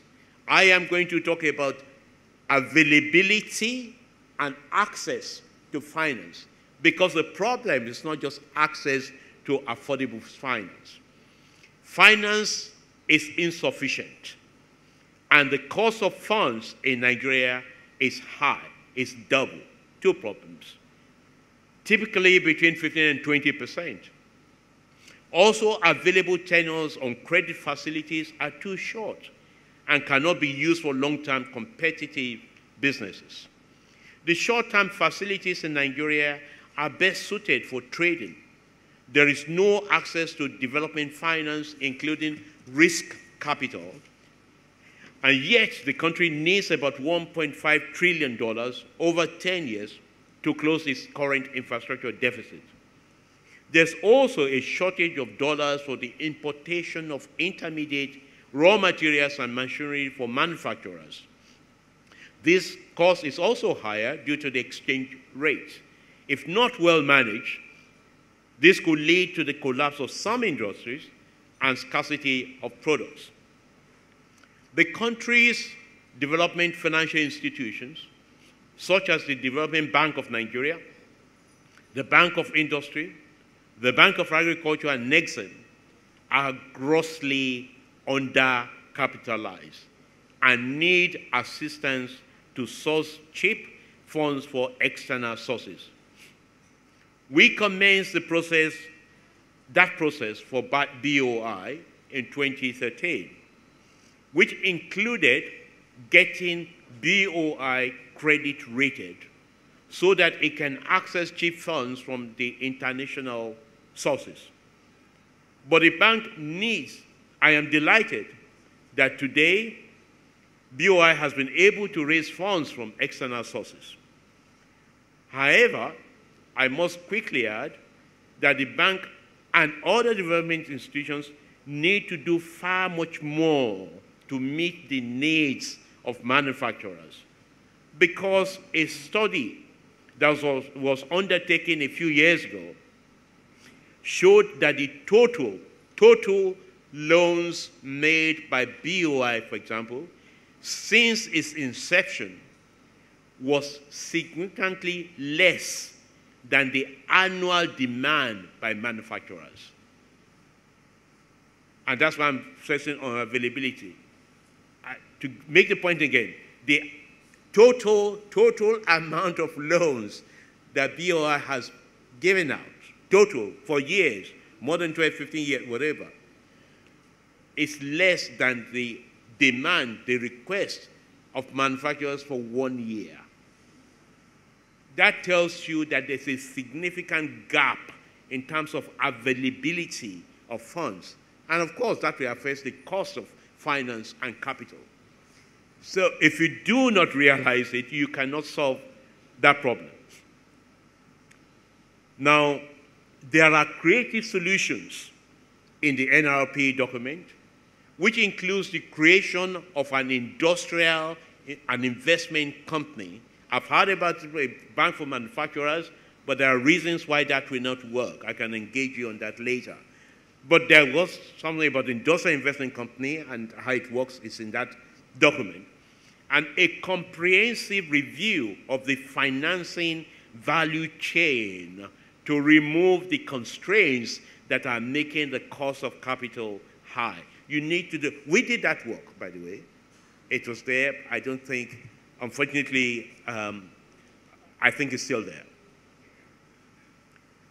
Um, to support exporters who have to import intermediate raw materials and machinery, a dedicated fund can be established which is funded from the proceeds of a dollar bond issued by the FGN, which has a moratorium of about four to five years, with a bullet payment of capital and interest in the fifth year. This will support confirmed letters of credit, with exporters paying back from the proceeds of export. The details can be worked out. I'm saying that there are creative ways to solve the problems we have. You just need to bring heads together to get them resolved. I'm just throwing one or two ideas here, which you can build on, but these are solutions are possible. Now, economic institutions and agencies must be held accountable in the new agenda you want to have. This is because, ladies and gentlemen, nations fail because institutions are weak or do not exist. That is why nations fail. Any industrial plan will fail if the relevant economic institutions are weak. Look at all the economic institutions that are supposed to support you. They are weak. And some of them, they cannot support you. Nations fail when institutions are weak or do not exist. Therefore, any industrial plan will fail if your economic institutions are weak or do not exist. Government agencies are economic institutions and the implementing arm of the ministries and are therefore critical to any industrialization plan. At a minimum, I see that there are a lot of appointments going on now, but at a minimum, competent technocrats who have a reputation for delivering should be appointed to the boards and management of these agencies. The dividends of democracy should not be about sharing portfolios, positions to party faithfuls. It should be about good governance. For as long as we continue to allocate, appoint EDs and GDs based on the fact that they are faithful party members, our institutions will continue to be weak and you will continue to fail. We have to practice politics the way they are practiced anywhere in countries that want to succeed. We should never say politics as a way where we're going to make money. And when you go into politics, you go to serve. It is not a business venture. If you want to make money, you go to the private sector and go and set up businesses and make money there. But in government, you go to government to serve. Until we change our paradigm as a nation, we will continue to underperform. And I want to make it clear to you that you have a duty and responsibility to make sure that your economic agency that serve you perform. The government needs to know. KPIs should be set and a comprehensive review of their performance regularly undertaken before any reappointments.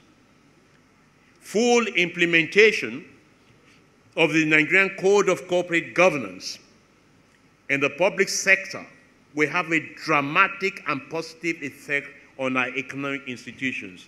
I'm happy the EG, DG of the FRCN is here. Um, we developed that code of corporate governance, and the idea was for it to apply to the private sector, the public sector, and to the non-profit sector. It's working effectively in the private sector. It has not been implemented. My excitement was in the public sector. Now, there are laws the National Assembly needs to put in place. You must make sure that it is implemented in the public sector. If you do, e.g., you will make a name for yourself. That's what needs to be done. In the private sector, and we have I say if it's implemented in the public sector, it will help strengthen those institutions that I'm talking about, and we have a better chance of success as a nation. The other point I want to also talk about is about market access and local patronage. They are key components of any plan you put in place. Nigeria must work towards consuming what it produces and producing what Nigerians consume. Simple. Otherwise, with the African Continental Free Trade Area in place, Nigeria will be flooded with cheaper and substandard goods. We must not deceive ourselves. Nigeria is the target market for other African countries. There's no point deceiving that. I know investors that are already setting up in different neighboring countries and they're setting up there, it's easier and quicker. Business environment is better for them. But the countries they want to set, the country they want to settle is Nigeria. They will flood you and you will be dead. Sorry to use to be so frank and direct with you. That is what is going to happen. You invited me to speak, so I assume you expect me to say the truth.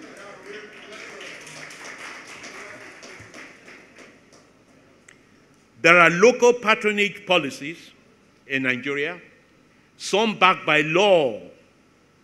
But you know what the problem is? Even though they are backed by law, passed by FEC and passed by the National Assembly, but the problem has always been that of non-compliance. And by who? By the government and the National Assembly. These are when the policies, policies go to the FEC, this is the highest authority in the country making laws, and it's passed there. But when it comes to implementation, it's not done. So it is important that effective, so don't deceive yourself about making Nigerian, it's so simple. You know, if there are, it's important that effective processes for monitoring compliance are in place, but it's not enough to monitor it. There must be procedures there to ensure that there are severe consequences for non-compliance. And the National Assembly and the executive arm of government must set the right example. There's also a need to empower the consumers in particular. Brazil did a brilliant job in this uh, group of consumers, the middle class, which is one of the largest and fastest growing in the world. This is a strong and big consumer group that we must leverage on, ensuring that Nigerians are gainfully employed, that Nigerians are paid living, not minimum wage, living wages, and that consumer credit schemes for made in Nigerian products are readily available.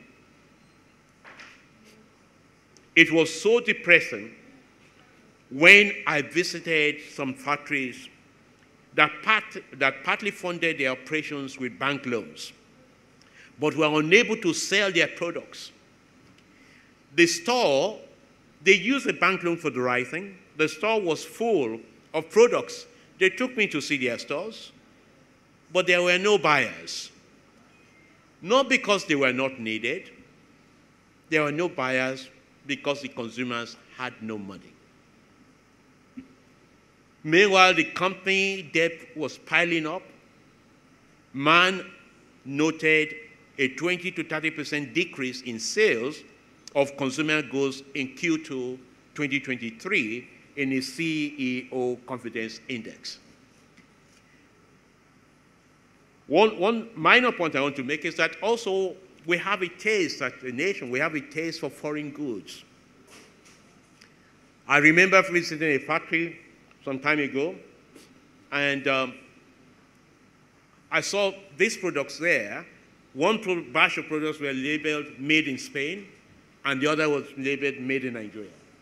And, I, and they're the same products. And I said, why is made in, what is made in Spain doing here? And they said, we, made in Spain ones sell quicker and at a premium because it has label made in Spain. But they are the same products. So we Nigerians also have a job to do on ourselves. There's also a need to empower uh, uh, the consumer groups. I think I've talked about that. And then the finance, I want to talk education, investing in education and skills. Emphasis on education and vocational training to ensure skilled workforce that can adapt to emerging and evolving industries is a necessary prerequisite for competitiveness. This will require the review of school curricula to ensure that they produce graduates and skilled workers that are relevant to the economy. Germany, Brazil, Singapore, and China have been successful than most countries in producing skilled workforce. Thank you very much, Chairman in producing skilled workers. You didn't know I was going to talk for this long, did you?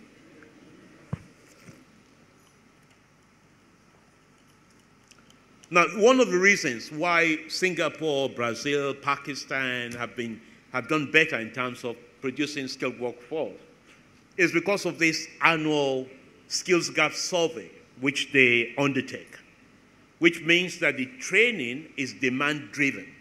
And therefore, when you go to one of the institutes in, in, in Brazil, SENAI, for example, 90% uh, of them get jobs within three months of completing the training because the training is demand driven based on the National Skills Gap Survey. We try to do something similar with UNIDO. The UNIDO person is still here. We did, yeah, you're still here. We did it, UNIDO and I don't know whether it was before your time, Patrick was here then, and MBS. And the idea was to use it in secondary schools, in universities, and ITF and others, with ITF doing it. Um, I know the report was completed. I will encourage us to use it the way it was supposed to be used. It's still there. Innovation, technology, and transfer, uh, uh, innovation, technology, and research. Innovation is a differentiator. The triple helix model advocated in the NRP links research in academia and research in institutes with the industry. But Nigeria has numerous, we have numerous research institutes. I know that uh, because as Minister of Finance, I knew where the money was going to. We have numerous research across various fields. But they have had little or no impact on national development, and in particular on our industrial development. We do have an institute called the Raw Materials Institute. Of How, what impact have they had on manufacturers and industry?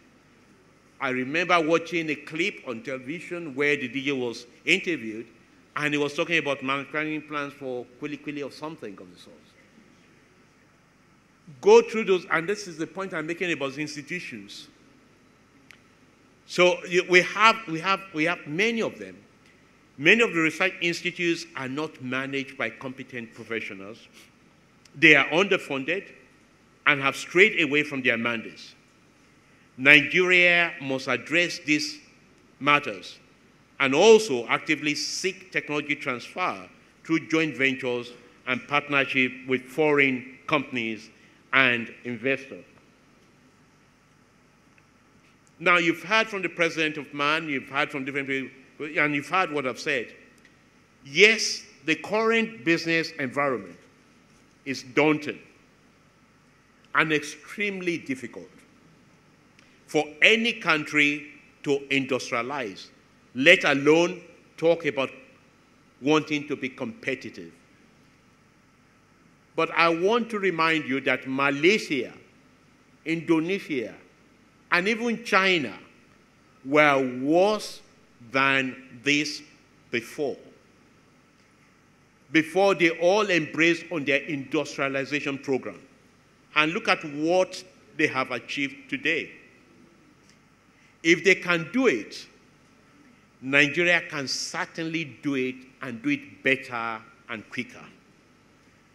After all, in the 1950s and 1960s, before the advent of oil and gas exports, Nigeria exported more tonnage of manufactured, manufactured good products to the United Kingdom than any of what became the Asian tigers, according to the UK shipping data. So we have done it before. There's no reason why we cannot do it again.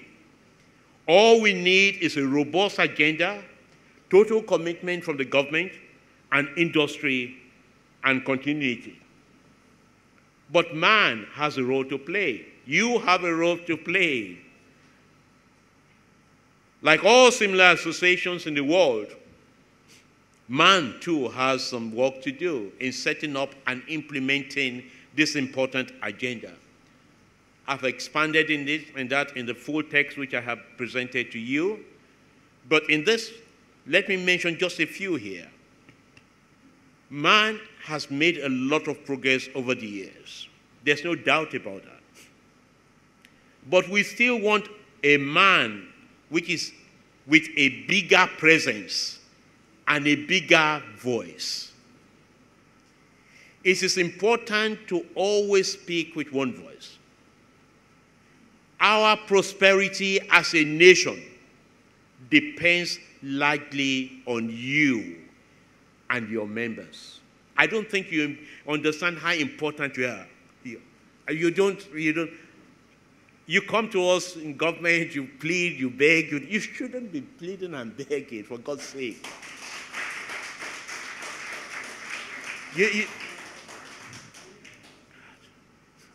our nation, eh, our prosperity as a nation depends or likely on you and your members you have the muzzle and you have the power not only to speak, but you have the muzzle and the power to speak and to be heard.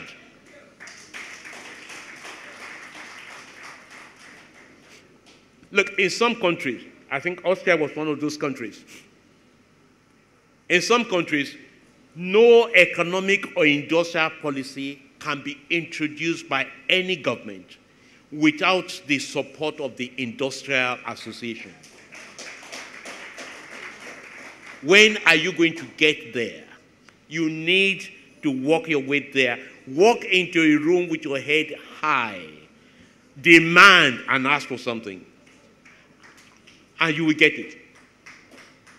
You see, I hope you still remember, and I think uh, Chief Kola Jamodu will remember this. I hope you still remember the role you played in changing the name of the Ministry of Industry, Trade and Investment. You, you may have forgotten, but I'll remind you. That ministry was called Commerce and Industry. And at the time, you had two ministers, one for commerce, one for industry. When I left finance and came in, I saw that I left finance, I was chairman of the economic, economic management team as Minister of Finance. But I knew that the heart, the economy, the number one ministry for economy in Nigeria is the Ministry of Industry, Trade and Investment. But they were reading speeches. And I wanted to go there and work. Now we changed the name to Ministry of Trade and Investment.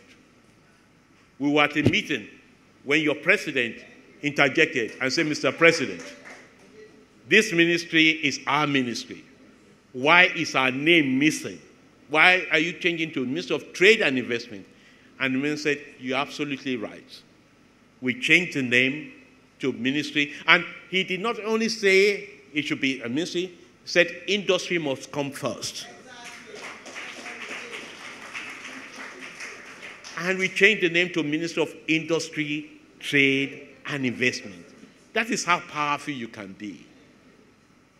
You see, there was a time there was complaining about your problems at the customs and everything.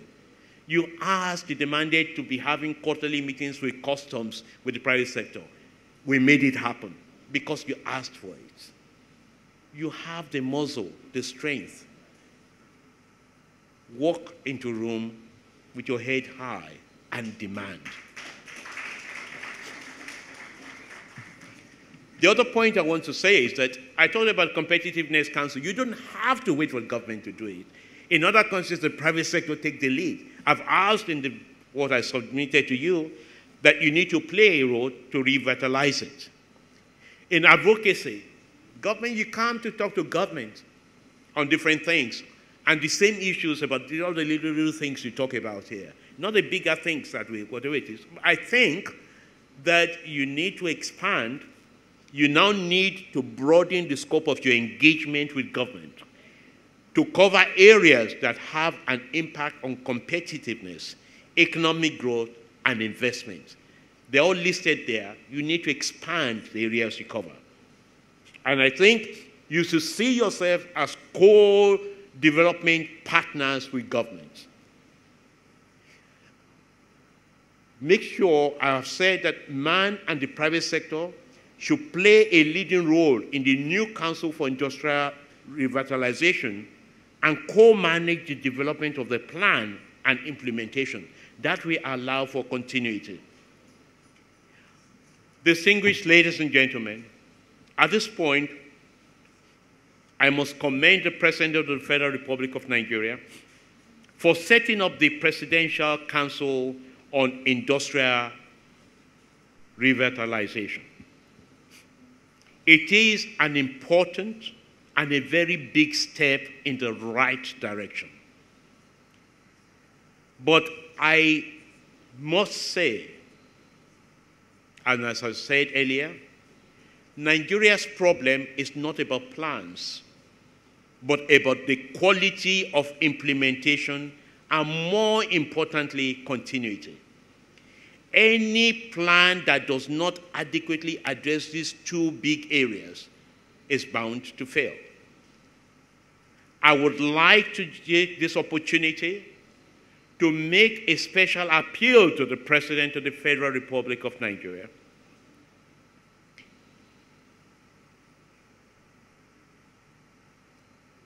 that this is a time to be bold. It is a time to act. It's a time to declare the industrial sector or manufacturing sector a national priority.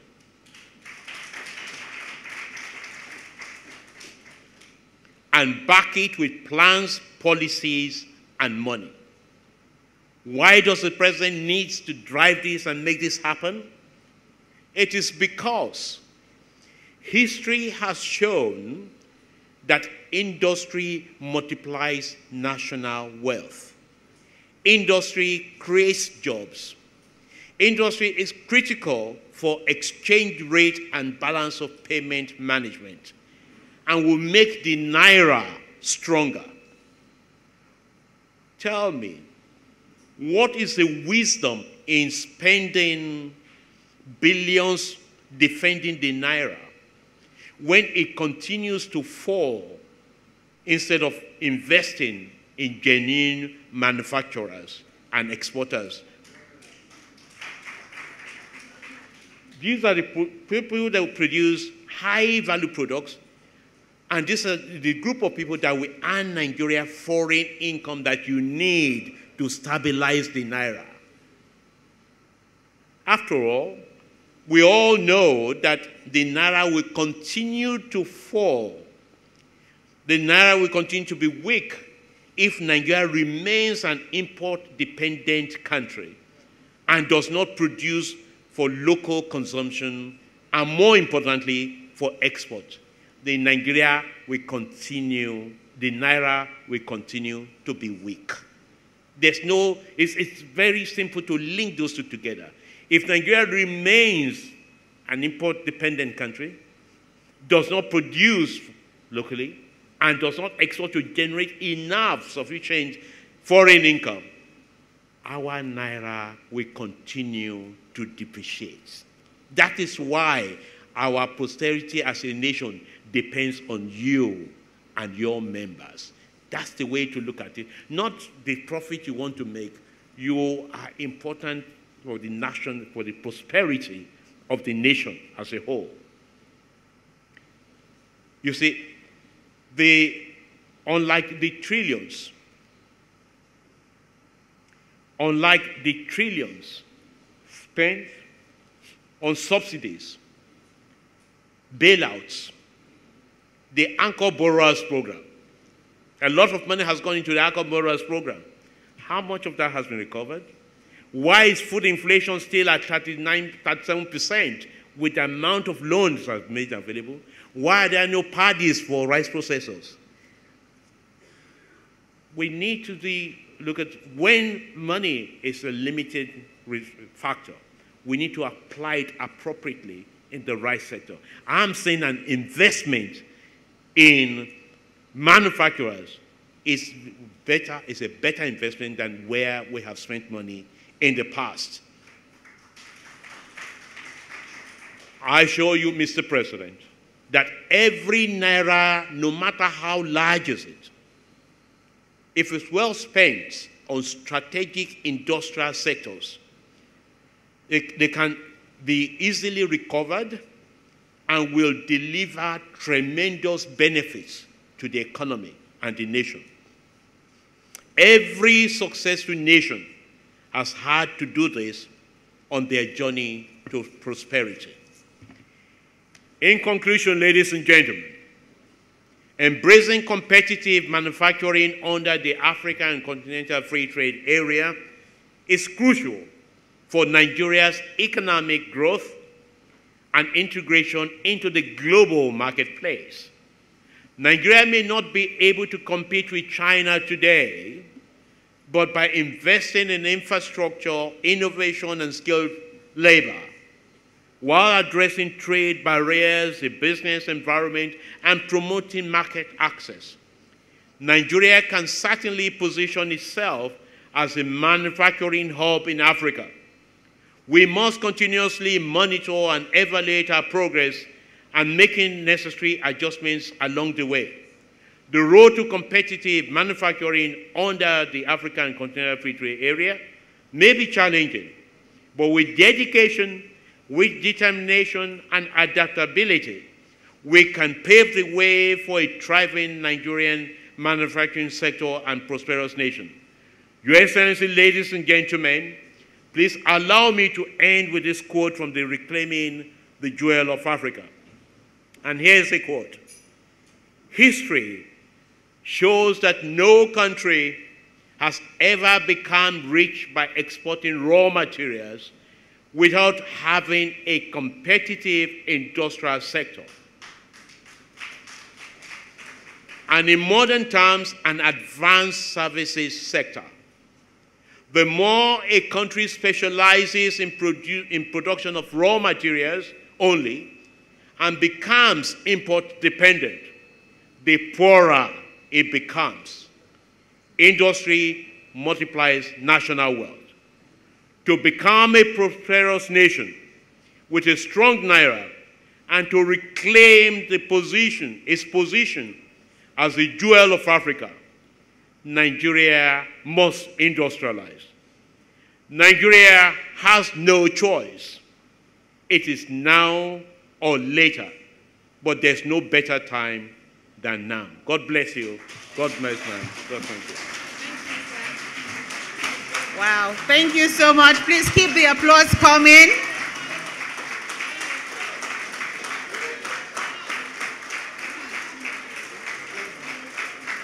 Thank you so much, sir. And to think that while his profile was read, we didn't see that he's also a quintessential lecturer because that was indeed a brilliant paper. Please, a round of applause for him once again. Thank you so much. Thank you. So uh, we'll move to the next item, which is uh, taking questions um, or comments that you would like to make after this presentation.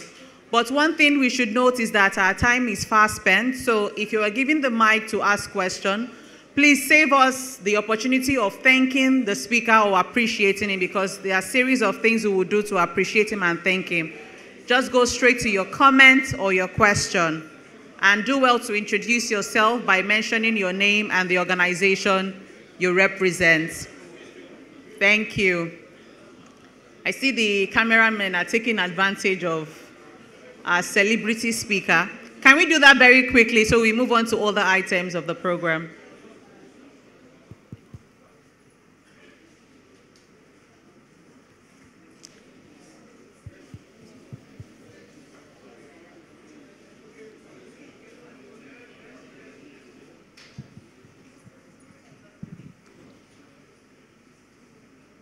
Okay, so let's take numbers. If you'd like to ask questions, could you raise up your hand so we save time? Okay, we have number one. We're only taking five questions. That's the maximum. Number two, ma. Number three. So we have two more. Number three and number four. Just one more person and we're done. Number five. Thank you so much. We're done with the five questions. I don't have the mic. So we're done taking all the questions. We just have five people. There's no mic here.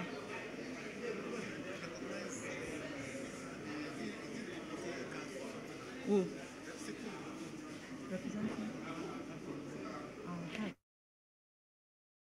All right, please let's take our seats. And I have the honor of recognizing the representative of the DG RMRDC uh, present here. Please put your hands together for uh, Mrs. Olabisi Davis. A round of applause for Mrs. Olabisi Davis. She's the Director of Planning and Policy Development Department. Please, a round of applause for her. Are we together? Thank you so much from RMRDC. And please, let's have our seats. Thank you. The program is still on. Uh, we have quite a lot of activities to, to do. Also joining uh, Mrs. Olabisi is a director from RMRDC as well, Mr. A. Collery. Thank you so much. A round of applause for Mr. Collery. Thank you so much from RMRDC. Can I join you to urge them to their seats? Uh, distinguished guests, I would like to urge all of us to please uh, let us sit. There will be enough time for us to interact with the distinguished guest speaker. Uh, will need to move on now because many people will still be traveling today. So please, uh, thank you very much. Our photographers, you have been very gallant. You can rest now. You can rest now. Yes, please, thank you very much. Thank you. Thank you very much. Thank you. Thank you, DG. Let's kindly move on.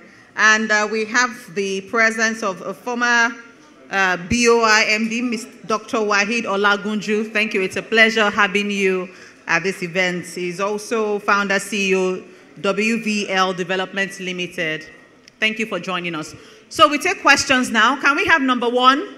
Yes, number one is um, Engineer Onyebu. So we're sticking to five.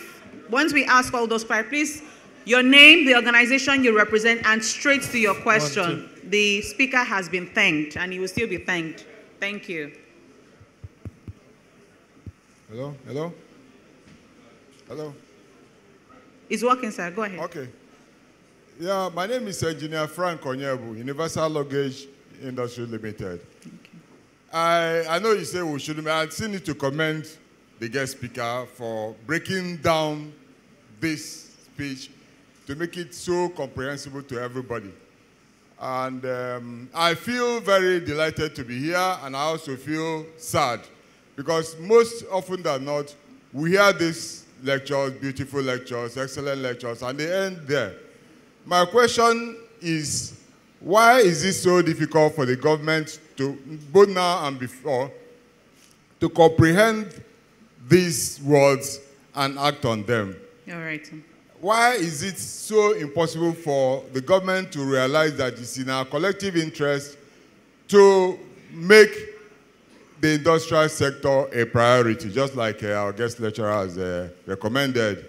And my second question is, if the government is unwilling or unable to do this, what can manufacturers themselves do to bring about the desired industrial revolution? Thank you very much. Thank you so much. Uh, brilliant. So let's take a cue from Engineer Onyebu. Uh, go to our number two. That's uh, Mrs. Olabisi is number two. Distracted. Okay.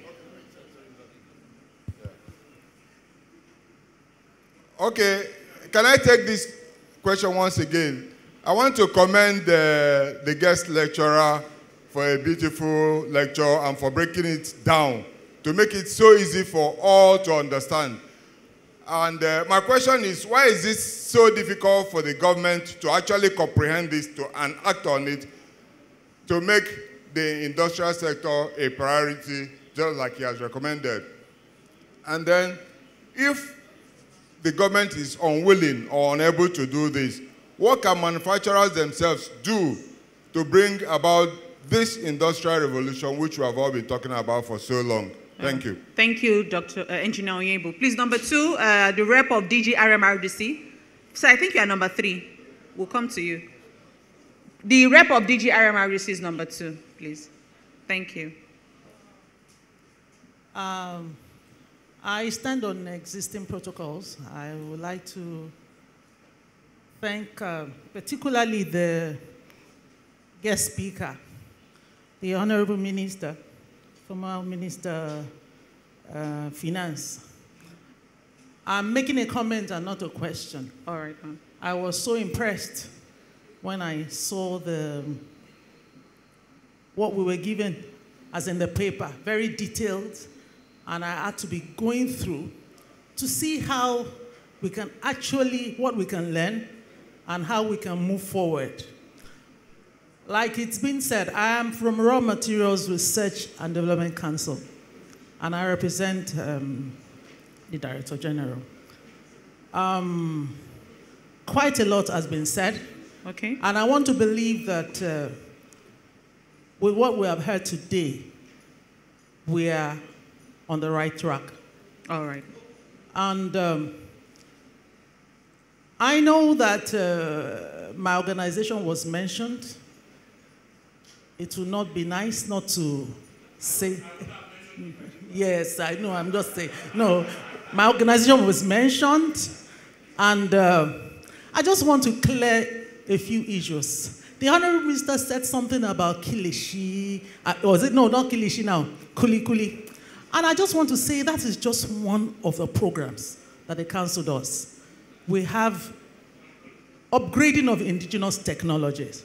And you will find that that will come under that. You know, we have things like Kilishi, things that we cannot, we want to see, even shea butter, things that we want to see the indigenous people, the indigenous technologies, how they can be upgraded so that it will save time and it will be what we want also. All and that's why we run some of those programs. I want to invite the Honorable Minister, maybe once, maybe when it comes to Abuja one of these days, he will be able to see some of the things that the council has also been able to do. Like uh, we have a technology complex, we have some issues, some programs that we have done.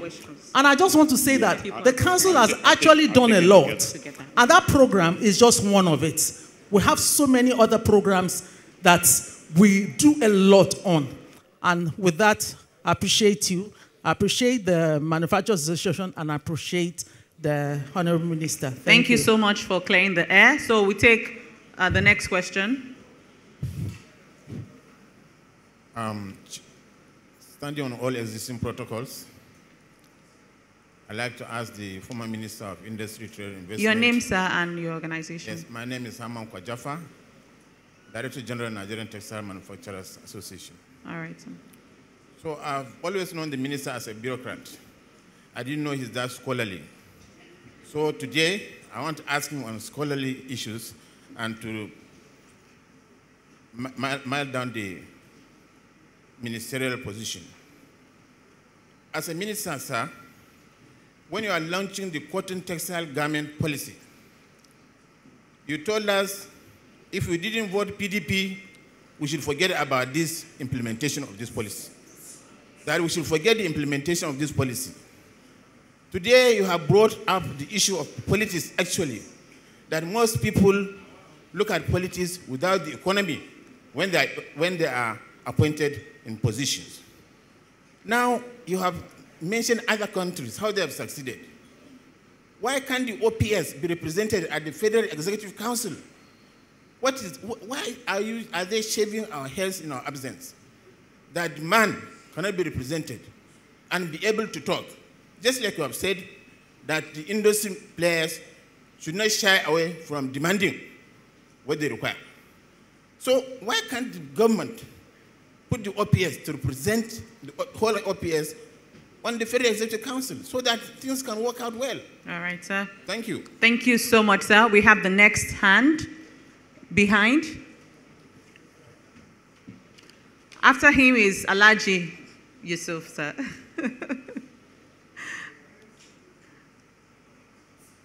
yeah, my name is Kabir Musa Adamu from BBUS Super Sachs Limited, Kano. My question to the speaker, we, from all the uh, lecture that he gave, it seems that we have a good and bad picture of what is going on in our country.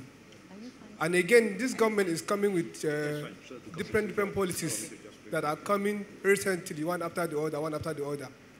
But there's one policy that just came recently, which I want to, the speaker to explain to manufacturers, is it good or bad to the manufacturer?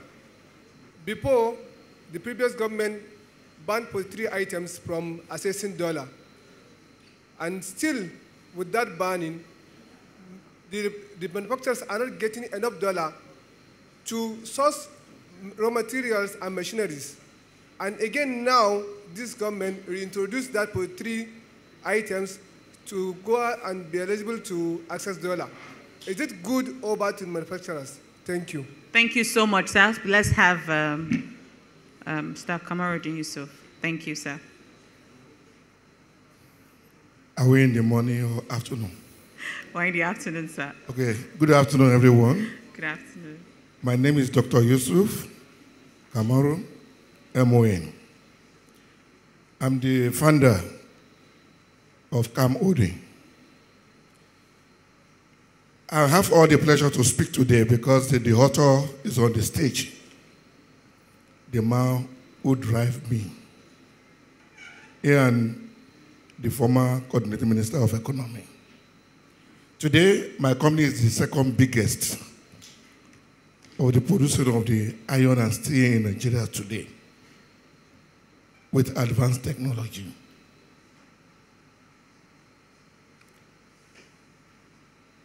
I want to speak on behalf of the all the manufacturers, people that have concern on the reversal of the 43's policies. The author, unfortunately to be the part of team that do the appraisal of the 43 items in 2015. And our author is on the stage. All the deputy governor, CBN, CBN governor, the ministries, the permanent secretaries. I believe the present people that are reversing that policy does not go through the right of behind of that policy before they reverse it. About almost 12 attempts, or let's say 10, in that concern the basic metal, iron and steel, is in that policy. What is going to happen to us? They want the steel industry to die totally? I can tell you, the what keeping pressure on our foreign exchange today is not as a result of demand from CBN. CBN doesn't have to give. It doesn't have. And what CBN doesn't have, you can't push people in the market in the black market to black market to go to CBN. If they go there, they can't find. What's behind of that problem is free trade zone. At least minimum of four who come from Asia country. I don't want to mention uh, country here specifically. To the country. And the items are not on those four vessels. If a man statistically went to go and do this research, they will come out with a good result. They will come up with a result. The item comes to the country is around $500 million in every month. 60% of that item came to, to, uh, came to, to, uh, to free trade zone without duties, no tax. And all the items is finished goods, not raw material to process anything there. What is the investment value of all the people in the free trade zone, apart from the people that do ties, that got to know our raw materials locally and do ties? All the items in free trade zone, they are all finished goods no value, no follow addition, no duty, no tax, nothing. Even the agency in charge of con uh, quality control, they cannot go there to go and assess what they bring. The whole market, I mean the whole goods, the finished will handle in Nigerian market, not export to the neighboring countries. These are the people that went to the Nigerian market to go and buy the dollars at any rate because they are getting export proceeds export incentive in their country. Please, we want our author, our amiable leader who has the visions. Because I know when he was in the Ministry of Trade and Investment, they appointed KPMG to, write, to do the right of all what they are implementing. I know very well I was involved. But that policy is going to kill Nigeria if we are not, if we are not careful. I'm sorry to use that word. It's a bad policy. By reversing it. Thank you very much. Thank you so much, sir. And that would be the end of questions, so sir, you can uh, field responses to those questions. Sorry, uh, thank you very much. I will take some of the questions. Um, but first of all, um, the raw material lady. Um, you know, I didn't know you were here. If I knew, I wouldn't have mentioned. because I value my protection family. I don't have people around me to protect me anymore now. Um, I came alone. I didn't have police people around me. So, um, but but the, the I would, but but I like your candid opinion. Not to worry, I know I'm safe with you. Don't worry. I like your candid opinion, and, and all I'm saying is that we have to be honest with ourselves as a country. We have quite a large number of institutions. We fund them with taxpayers' money. They must be accountable to the taxpayers and they must produce for the taxpayers. That's the point I'm making. And if you look at the institutions, they have not been delivering. We must, and that's partly because of the way we see appointments. I've made the point that democracy or, or, or it's, it's, a, about good governance, not about sharing positions to party faithfuls. And that is partly why we have the problem we have today. Now, um, and that example I gave, which on the television, which your DG actually, it was relayed live. I've also made my comments because even when I was in finance, I did meet with the DG then those days, And I kept on, I wasn't as impressed. At the stage, we were even competing with the industry, producing what the industry should be producing. When their job is to help facilitate, there was a misunderstanding. They were straying away from their, from their mandate. And it doesn't apply to raw materials only, it applies to all the uh, um, implementing agencies. And that was the point I was making. On the point, the first comment was about why has it been difficult for government to react that you normally have brilliant, good uh, lectures, but after it, nothing happens. You must adopt the fact that you must walk the talk. This is now the time for action, not talk. And that's what I'm trying to get on to, to act on now. And this should not end with this. There should be a forum to discuss it and come up with an action plan. And I think that is what MAN is trying to do. After this event, I think they will come with an action plan, which they will go and present to the president. So that's part of the plan, and that will make things happen. Because part of the things that sometimes private sector assume that the government knows everything. We don't know everything. We don't even know most things. You are the people on the field. You know what is going on there. It's important that you engage honestly with government and share your thoughts with government. It's usually very helpful. What has been confusing in the past, which I think has improved, in those days, uh, the people, um, the personal interest was, was far much more. There was no, and that's why I made a point that you need to speak with one voice. You must have a credible platform. Man should be the platform. And you should talk to uh, uh, one, with one strong, big voice.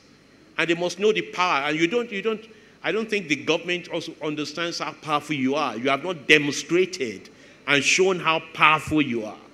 You need to, you have more than 2,500 people. If you look at it and see the number of them, the taxes that your members pay to the government, you aggregate some of these things regularly to government to remind government how important you are to the economy, the government will take it more seriously. You are not promoting yourself, I think, enough to show what your contribution is to the nation and, and, I think that's partly what you do. The second point is that you have to, which I wrote in the book, I, I think part of it is to do with the, quality, the governance we operate in this country. You see, because we don't operate the parliamentary system, we operate the presidential system. People are appointed. You have someone appointed tomorrow, tomorrow into a position that he or she never thought she was going to occupy at all. It's made a minister tomorrow, whatever it is. You may not understand, it takes more than a year for a new minister to understand what his ministry does and the agencies do. It takes more than a year to understand that. The ministry, the minister second, starts developing his own plan in the second year. It's in the third year that you start seeing some level of implementation. And in the fourth year, it's all about election. So we run a, a system that is not productive for our country.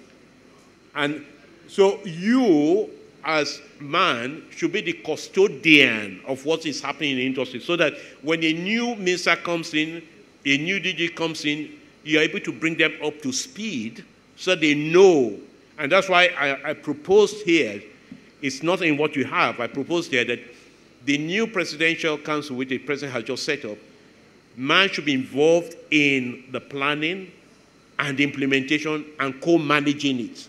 So that even, even one government goes, another comes in, you are still there. You're co-chairman, you're co-whatever it is. They just continue. So if you provide some level of continuity, we need a structure that allows continuity.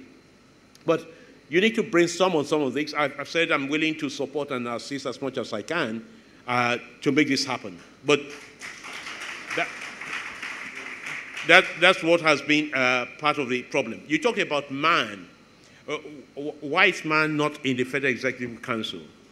Uh, that will require a change of the Constitution because it, it did, the Constitution sets out who can be in the Executive Council and their government ministers and their procedures, whatever it is. Man, what man can demand, which man has gotten, is usually in the economic management team, man is represented there. That's where some of the decisions are made.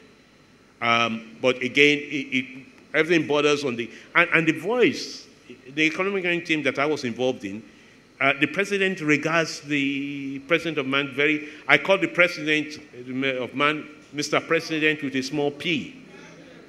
You know, it's Mr. President, but with a small p. Mr. President with a small p. That's, that's the name I call him. You know, uh, because the, we listen to him, we listen to what you're saying. So I think involvement at that level and making sure you contribute significantly at that level uh, will help and support uh, what you want us to do.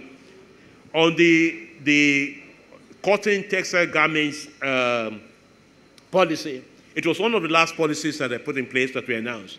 But it was dead after I left. Nothing happened after that. Yeah. Now, and we had a plan. We, we, the, the idea was to link it from cotton to fashion industry, from beginning to the end. And, uh, and we had investors who wanted to come in.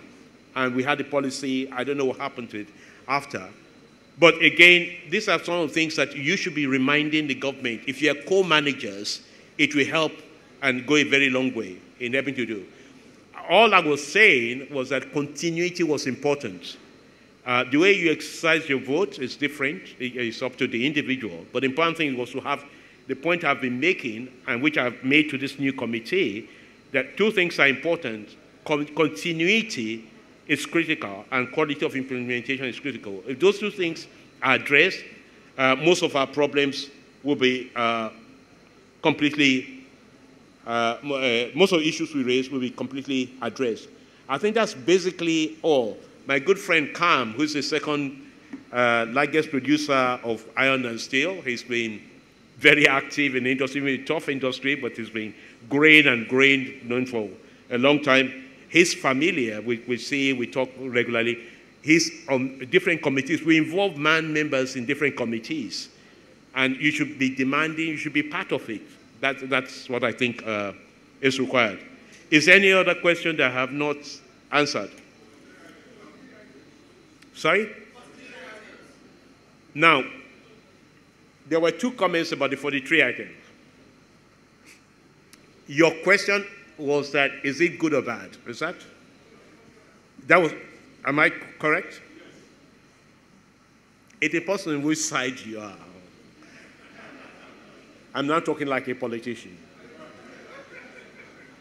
Um, you see, the CBN, that is an example of what could have been done differently if there was better coordination between monetary and fiscal policy. What you saw was a decision that was based only on monetary. You see, it shouldn't have, for it to work, you need monetary and fiscal working together with the industry, trade, and investment heavily involved in it. They were not involved in it. And it was mainly CBN trying to conserve the foreign exchange. But the problem the industry had was that, from what I understand from those I spoke to, was that even with that, it induced, they had to go to the black market. It increased the exchange rate. But more importantly, there was no level playing ground for everyone. That if it was level playing for everyone, they'd be okay. But you know what was happening. I know what is happening, and this is not the forum to discuss it. But there are issues around the process itself that made it very difficult.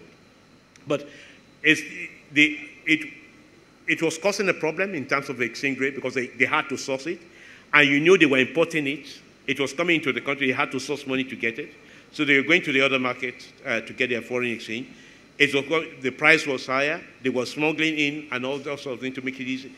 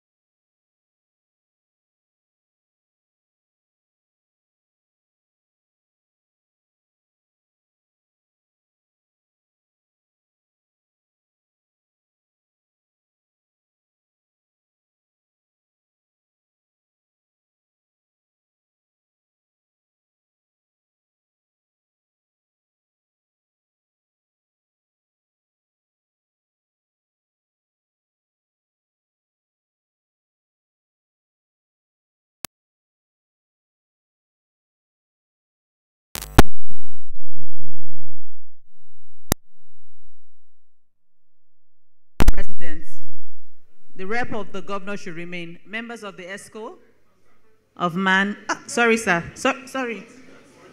Sorry. Yes, sir.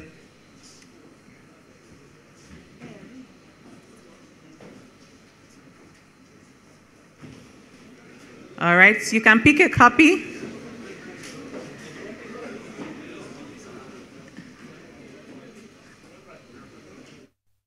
This book is one that you should get. Rich history, rich content, fantastic information. And it is quite affordable. You won't believe how much it is.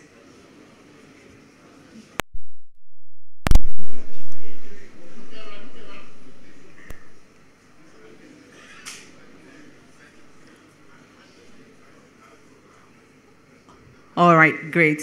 Then we'll take a final one where the Minister Otumba, the rep of the Lagos State Government, the DG RMRDC rep, should please come forward. While other EXCO members can go to their seats, we will send the bill to you. Just have it. EXCO members can have it. We'll send the bill. We'll send the bill to you. Thank you very much.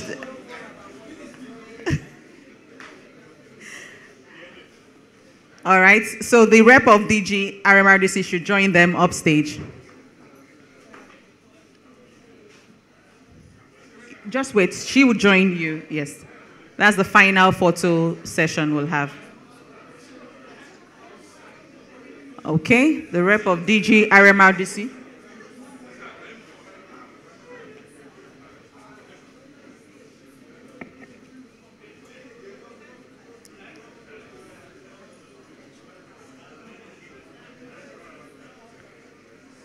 All right.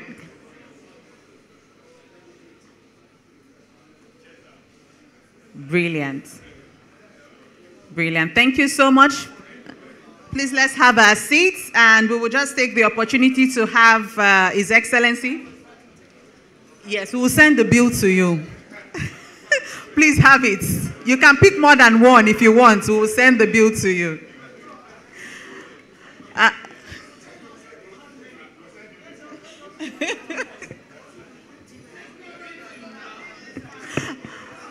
Please let's kindly settle down. The program is not over yet. No, it's fine. It's down here. We'll call it later. No, down. All right. Thank Financial Reporting Council of Nigeria, Dr. Rabiu Olowo. A round of applause for Dr. Rabiu as it comes forward. Please, one house. Can we put our hands together for Dr. Rabiu Olowo? Thank you so much.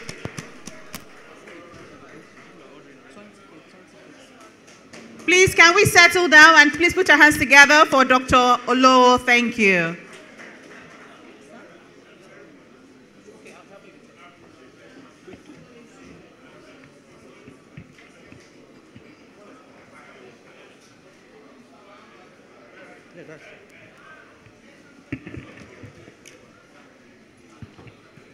Thank you. Please, let's settle down. Thank you so much.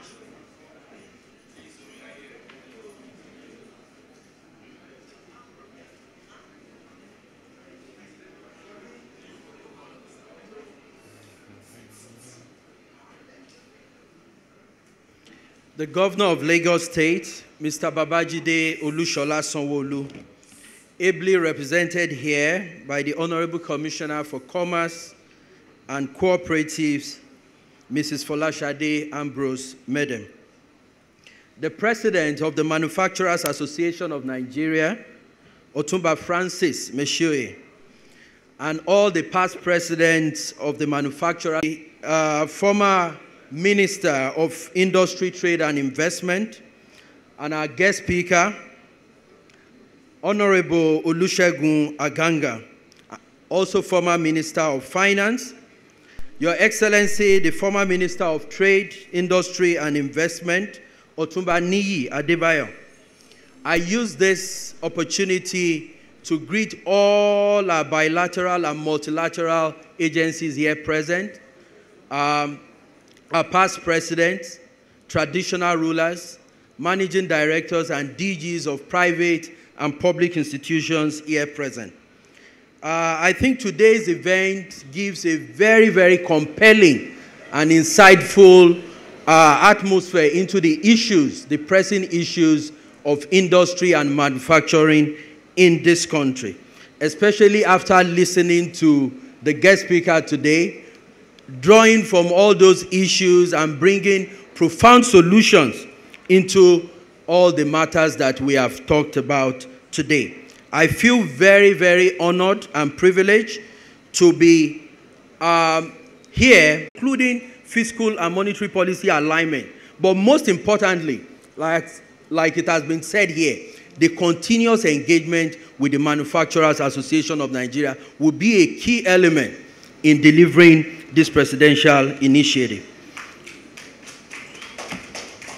I also heard things around the improvement opportunity that is present in ensuring that our manufacturing contribution to GDP increases over the years. The guest speaker also made mention of the need for active collaboration between MAN and the government. And I want to assure you here today that the Minister of Industry, Trade and Investment is very ready to work with MAN with our open hands actively, and we are waiting for active engagement that will lead to the resuscitation of this industry.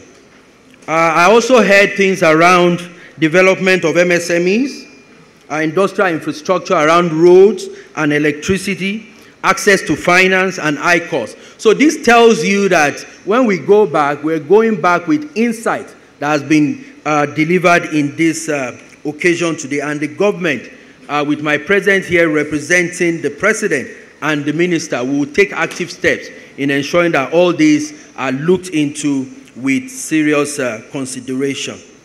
Distinguished members of the Manufacturing Association of Nigeria and esteemed guests here, our goal today from the government is to discuss the pivotal role of Nigeria in enhancing the manufacturers' uh, competitiveness in Nigeria. Nigeria, as we all know, is the most populous nation on the African continent and its largest economy. So it plays a crucial role, especially when we talk about the African Continental Free Trade Area and Agreement. Our presence here today at this meeting will emphasize the need to compose ourselves and get ready to take advantage of the AFCFTA uh, agreement. The AFCFTA represents a transformative development in African economic integration. Uh, as of September 2021, it has the potential to create a single market, take advantage. Nigeria is the largest economy in Africa. The AFCFTA offers unparalleled prospects for growth and trade expansion. However, to harness the full benefits of its historic agreement, we must take strategic interventions in the, in the manufacturing sector to enhance uh, our competitive edge. Like the guest speaker also said, the manufacturing sector is the backbone of any industrial economy, and we know this as a government. It plays a crucial role in employment generation, value addition, and of course, technology transfer. To maximize the opportunities presented by AFCFTA, we have four critical imperatives to share with you, which is a combined responsibility of the government and also the Manufacturing uh, Association of Nigeria. So I'll go over it one after the other. The first one is how do we foster collaboration and partnerships? The FCSA is not just an agreement. It is a platform for collaboration, even beyond the walls of Nigeria. How do we reach for regional integration that will give us competitive manufacturing? Nigeria must actively engage in regional and continental cooperation with the following steps the steps that will bolster regional integration. We must strengthen our commitment to regional integration by harmonizing trade and manufacturing policies with other AFCFTA state parties. The second one within this is public-private partnership. We must encourage a robust public-private partnerships to enhance the strength of both sectors. The private sectors cannot do it alone, and government is showing willingness to listen to you. You are the experts. You've been doing this for long, and will be willing to work with you in order to uh, deliver sustainable growth, especially in the area of research and development.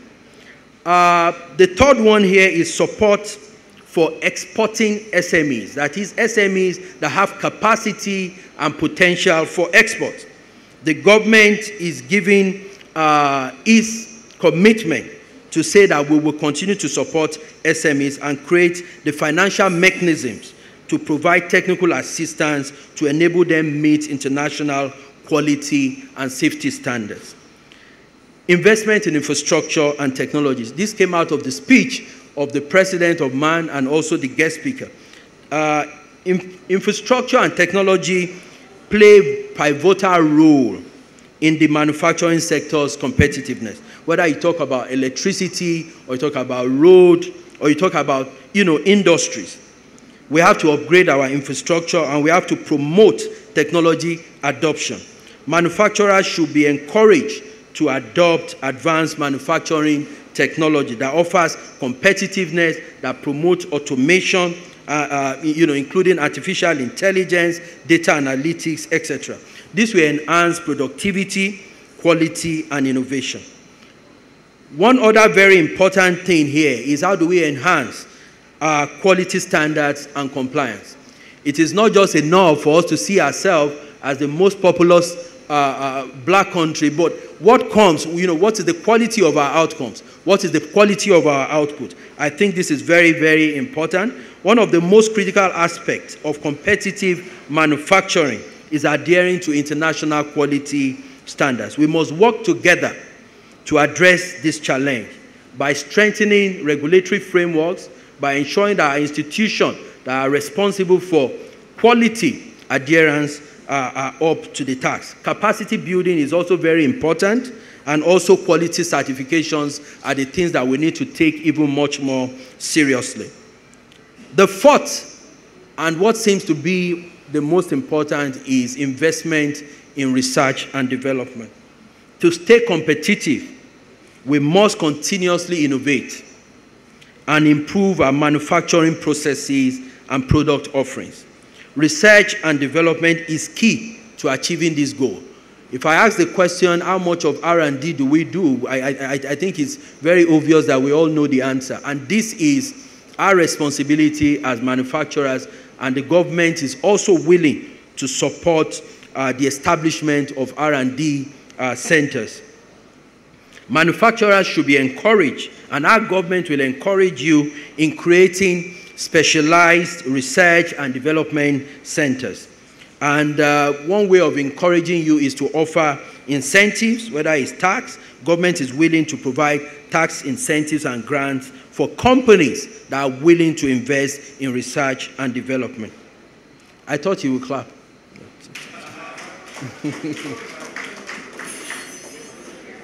Our commitment in supporting you in the area of research and development, I must emphasize, it is not rhetoric. Like some of the insight that I've gotten sitting down here, manufacturing is at the bedrock of a sustainable economic development in this country. And we are not going to achieve that growth if we don't have a sustainable pipeline for innovation and attractive production. So we go back to the AFCFTA. Significantly, we stand at a crossroad in the implementation of the AFCFT, especially with our potential and the opportunity that we see as a big country. The manufacturing sector is pivotal in realizing the full potential of this historic agreement. We must take opportunity for it and we must get a big deal out of this.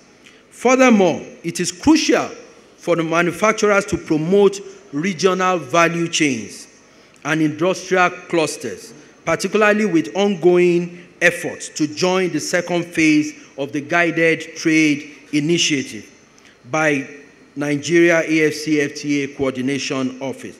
By encouraging manufacturing enterprises man and the private sector, we can overcome the challenges and seize opportunities of the AFCFTA offers.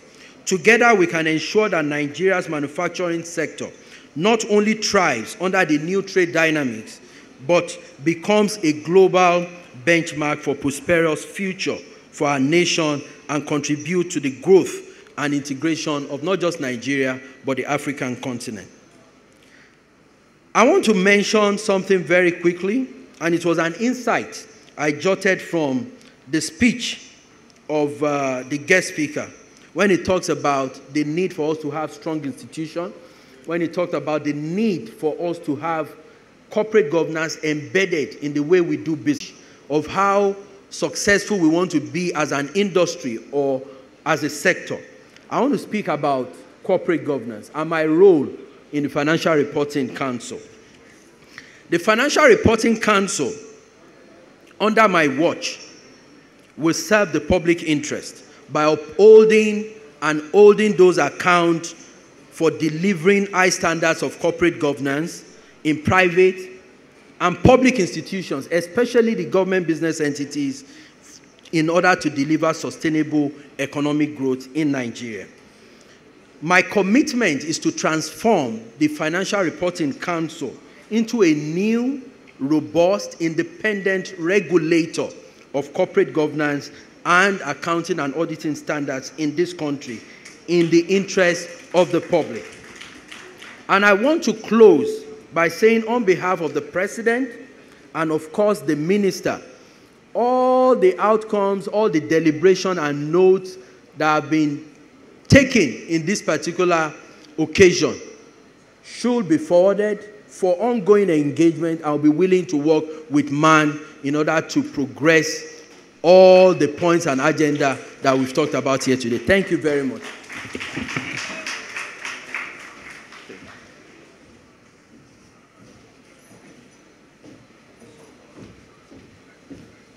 Thank you so much, Your Excellency, for uh, that remark. I shouldn't have allowed you to go because the next presentation concerns you. So I'd like to invite the President and uh, Dr. Olowo should also please step forward. You'll be receiving uh, this uh, token of appreciation from MAN uh, for His Excellency, uh, President of the Federal Republic of Nigeria. Please, President.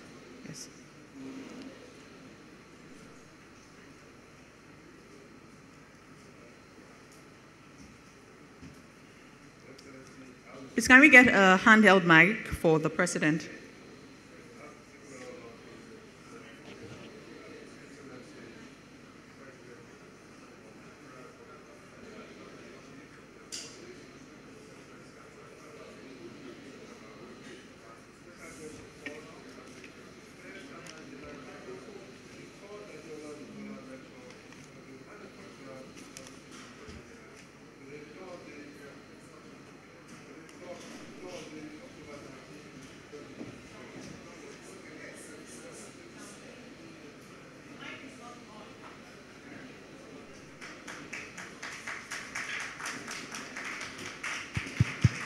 Thank you. We all heard. Let's assume we heard. He simply read what is on the award. So we move on to the next presentation. Thank you so much, sir.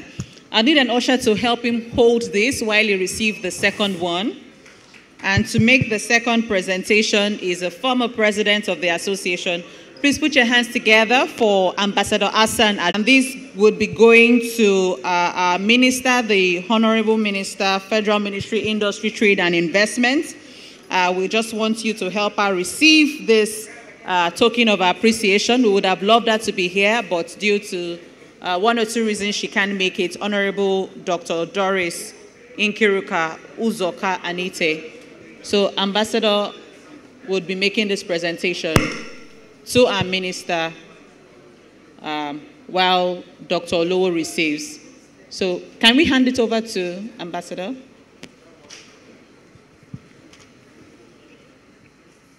Your Excellency, in appreciation of um, your attendance to the 51 AGM, uh, the Manufacturing Association of Nigeria is presenting award. Um, you honoring our invitation. Thank you. Please help him hold the mic. Thank you so much, sir. All right, so you can have your seats now. The next presentation, I'd like to invite a former president of this association. Please put your hands together for Chief Kola Jamodu as he steps forward. Is making the next presentation on behalf of the association to our distinguished guest lecturer at this event. It's done amazing and we, sir, you come up stage, sir. It's done amazing and we just simply want to appreciate him with this token. Uh, once again, let's put our hands together for Olusegun Aganga, CON, former Minister of Finance, uh, former Minister of Industry, Trade and Investment. Please, the applause is getting cold. Could we? Thank you so much. Thank you. Thank you.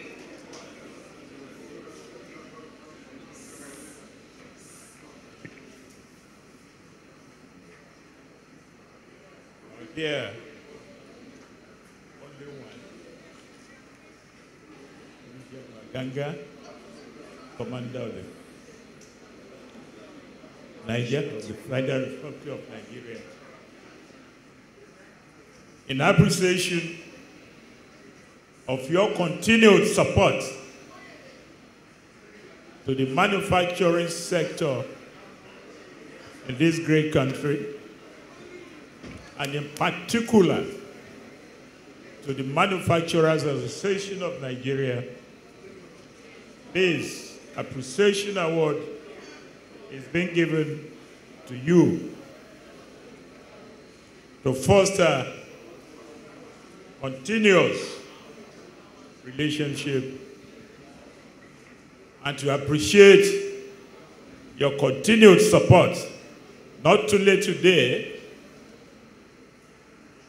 but your willing offer of continued relationship and award and support to the manufacturing sector in this country. Thank you very much. Thank you so much. A round of applause for our former president and, of, and our distinguished guest lecturer. Thank you. Uh, the next presentation will be done by another former president of this association. Please put your hands together for Engineer Mansour Ahmed as he steps forward. Thank you so much, sir. To make this presentation to uh, former Minister of Industry, Trade and Investment, uh, very own friend of the house, and of course, the man who did the forward for the excellent book we unveiled at today's event. Please, a round of applause for Otumba Niyi Adebayo as it comes to receive a token of appreciation. Can we have the final plaque? Yes, please.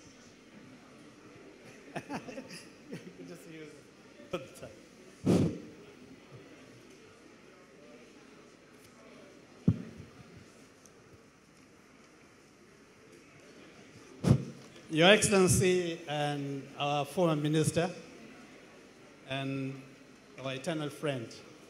It's my pleasure on behalf of the Manufacturers Association to hand over this flag to you in appreciation of your continued and long-standing stand uh, support for the association and for the manufacturing industry. Thank you very much. Thank you so much. Please a round of applause for them. And the Director General would make this final presentation.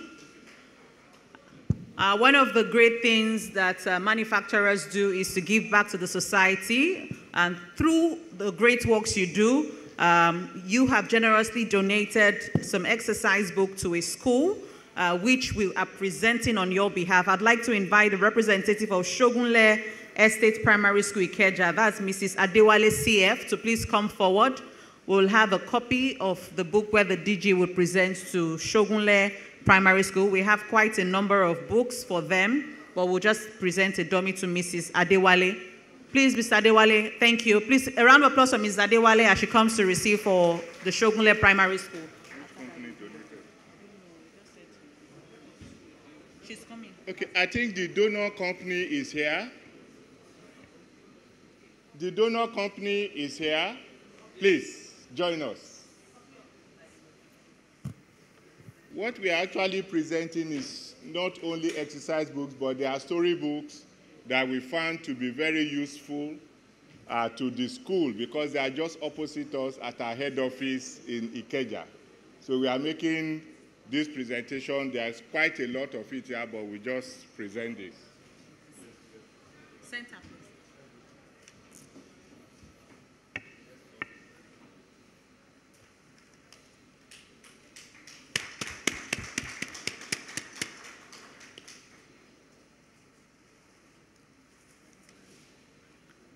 Thank you so much. And now the DG can do the vote of thanks.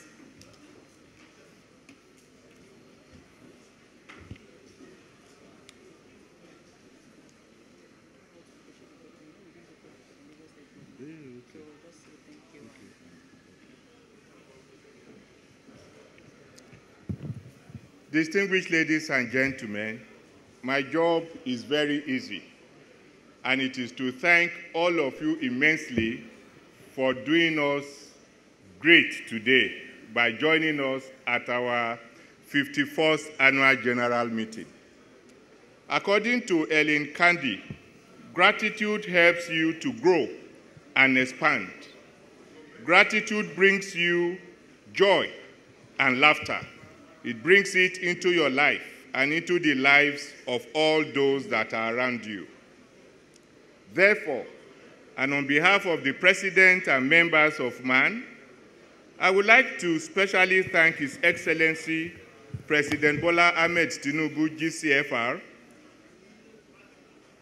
for honoring our invitation to the third Adeola Odutola lecture as part of activities marking our 51st annual general meeting.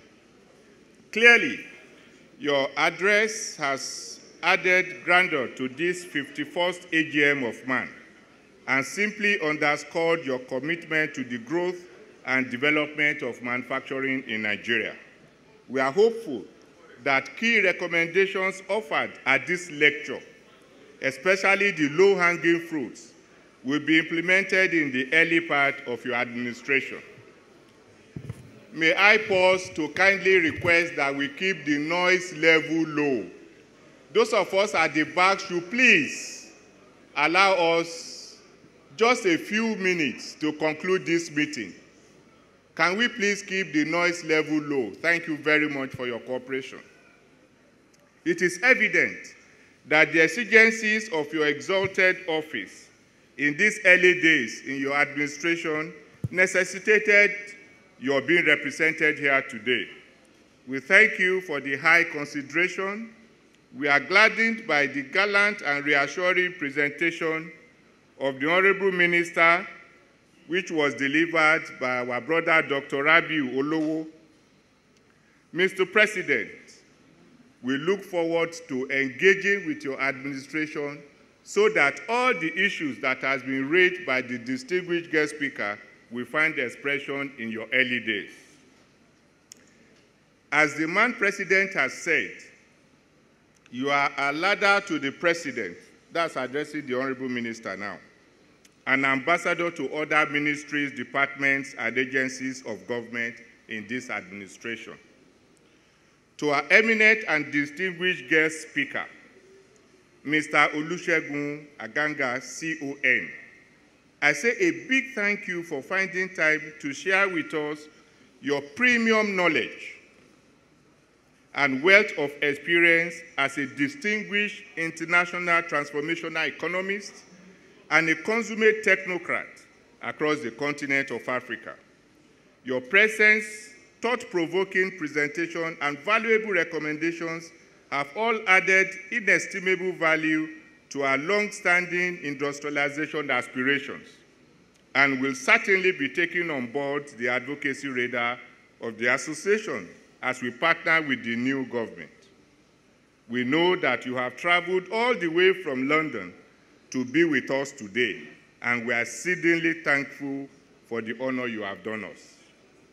We are grateful to the Executive Governor of Lagos State.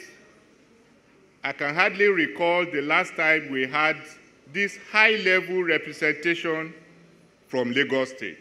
We commend you, ma'am because we are sure that it's your doggedness and commitment to industrialization in Lagos State that has brought you here. We thank you. Our sincere gratitude also goes to our guest of honor and our dear former Minister of Industry, Trade and Investment, His Excellency Otumba Niyi Adebayo, CON, with whom we have a long history of friendship and support. We duly acknowledge your past support and thank you immensely for gracing our AGM. To our esteemed members of the Diplomatic Corps and development partners and agencies earlier acknowledged, we thank you for the cooperation you have always extended to our association and for honoring us with your attendance. To our partners, directors general, and leaders of departments of government, including Raw Material Research and Development Council, Standards Organization of Nigeria, NAFDAC, NEPZA, SMEDAN, NIMASA, ITF, we thank you exceedingly. We applaud you for coming and for the cooperation you have extended to our members, as well as the joint efforts we have undertaken together to improve business operations. Our fellow members of the organized private sector of Nigeria, namely NECA, NACCIMA, NASSI, and NASME, we have always enjoyed the pleasure of your company as we deeply appreciate the bond that we share. I have here my colleagues from NECA and NACCIMA. You are warmly welcome. We are grateful to members of the academia, our consultants, partners, and so on for joining us. To our past presidents and directors general of this great association present here today, I extend a warm appreciation to you for finding time to attend this third Adeola Odutola lecture and presidential luncheon. We specially acknowledge and thank our beloved former presidents, Ambassador Hassan Adamu, Chief Kola Jamodu, and Engineer Mansour Ahmed. We are indebted to all our past presidents. We are happy to see our past director generals as well. We have seen Mr. Jide Mike and my predecessor, Chief Remy Ogunmefun. It's indeed a pleasure to see you all looking well. I hope I will look as well as you are looking when I leave this job. We thank you for being remarkable and dignified institutional assets to your association. Most importantly, we are grateful for the inestimable legacy that you left for us to build upon. May the road rise up to meet you in all that you do. To our veritable partners in the media space, we thank you for always being there for us and giving us unbiased and supportive reportage. We look forward to no less coverage of the 51st AGM. We remain indebted to our gallant sponsors who made all this possible and colorful. Your continued support has made our AGM a most memorable reunion, and we thank you for being exceptional members and for always making us proud. An event like this takes a lot of careful planning and long hours of work. I'm fortunate to have the cooperation and dedication of colleagues who work tirelessly to make this event possible and memorable. It has been a tasking one, and I thank you all for enduring, for your endurance and for your steadfastness. I would like to express my appreciation to you for keeping the focus on the man of the future. Your Excellencies, distinguished guests, ladies and gentlemen, as we draw the curtain on our third Adeola Odutola lecture and presidential luncheon, I defer to the words of Rhonda Byrne, an Australian television writer and film producer, who said that gratitude will shift you to a higher frequency and you will attract much better things. In that regard, I express the hope that all our stakeholders present here today will offer a willing hand when we again call you for support in the course of developing the implementation roadmap for the key recommendations emanating from the lectures. Hopefully, prosperity, posterity will judge us positively when a review exercise of this memorable lecture is conducted. A competitive manufacturing sector is fundamental to our, to our beneficial participation in the African Continental Free Trade Area. I thank you all for honoring us with your esteemed presence and wish you all journey mercies to your various destinations. God bless you. Thank you so much, DG. And on this note, we can safely call it a wrap. It's been a wonderful day, and I must commend you for your patience. Uh, the program is over, but it's still not over because our dignitaries will do a tour of the exhibition area before they leave. And after that, they proceed for their lunch, which has been set at the Chinese restaurant. The president would equally lead them. Our distinguished guests um, who are in front, and of course the executive council members. But we need to do the tour of the exhibition so that they see uh, closely products made in Nigeria, which we are proud to showcase. And good number of our members are exhibiting at that floor. So um, also, for those who are not joining them for the tour, we would like you to please remain on your seats uh, because lunch is served, but we would serve lunch table by table. So if the ushers don't come to you, please remain until you are approached to have your food. There's enough food for everyone, but we want to make it less rowdy. And I'll plead with pressmen not to uh, stop our dignitaries. Let them go for the tour of exhibition after which you can do your interview. Please let's comply with all of this uh, instruction. On that note, I'd like us to please be on our feet as we take the national anthem.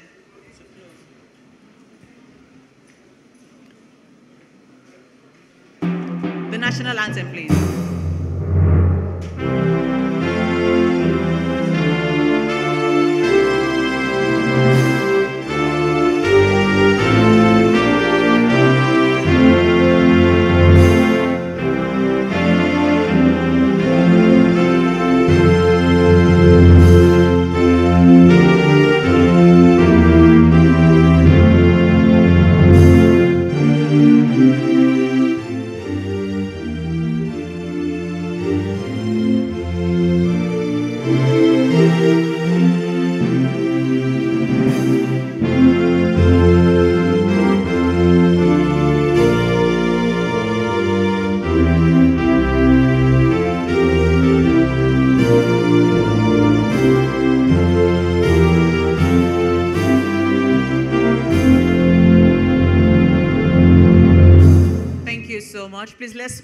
For the dignitaries as they go out for the tour of the exhibition area. We've taken on stage already. We've taken Uda. Please, uh, if you are not going on the tour of exhibition, please remain on your seats. Aside from food, we have souvenirs which has been donated by members and we feel you should have uh, a pack as you go. Please if you are not going on a tour of the exhibition, kindly remain on your seat. And if you are the owner of a vehicle with registration number SMK245 GTY, please kindly go and repack. You are obstructing somebody. Please let the dignitaries breathe. Don't suffocate them.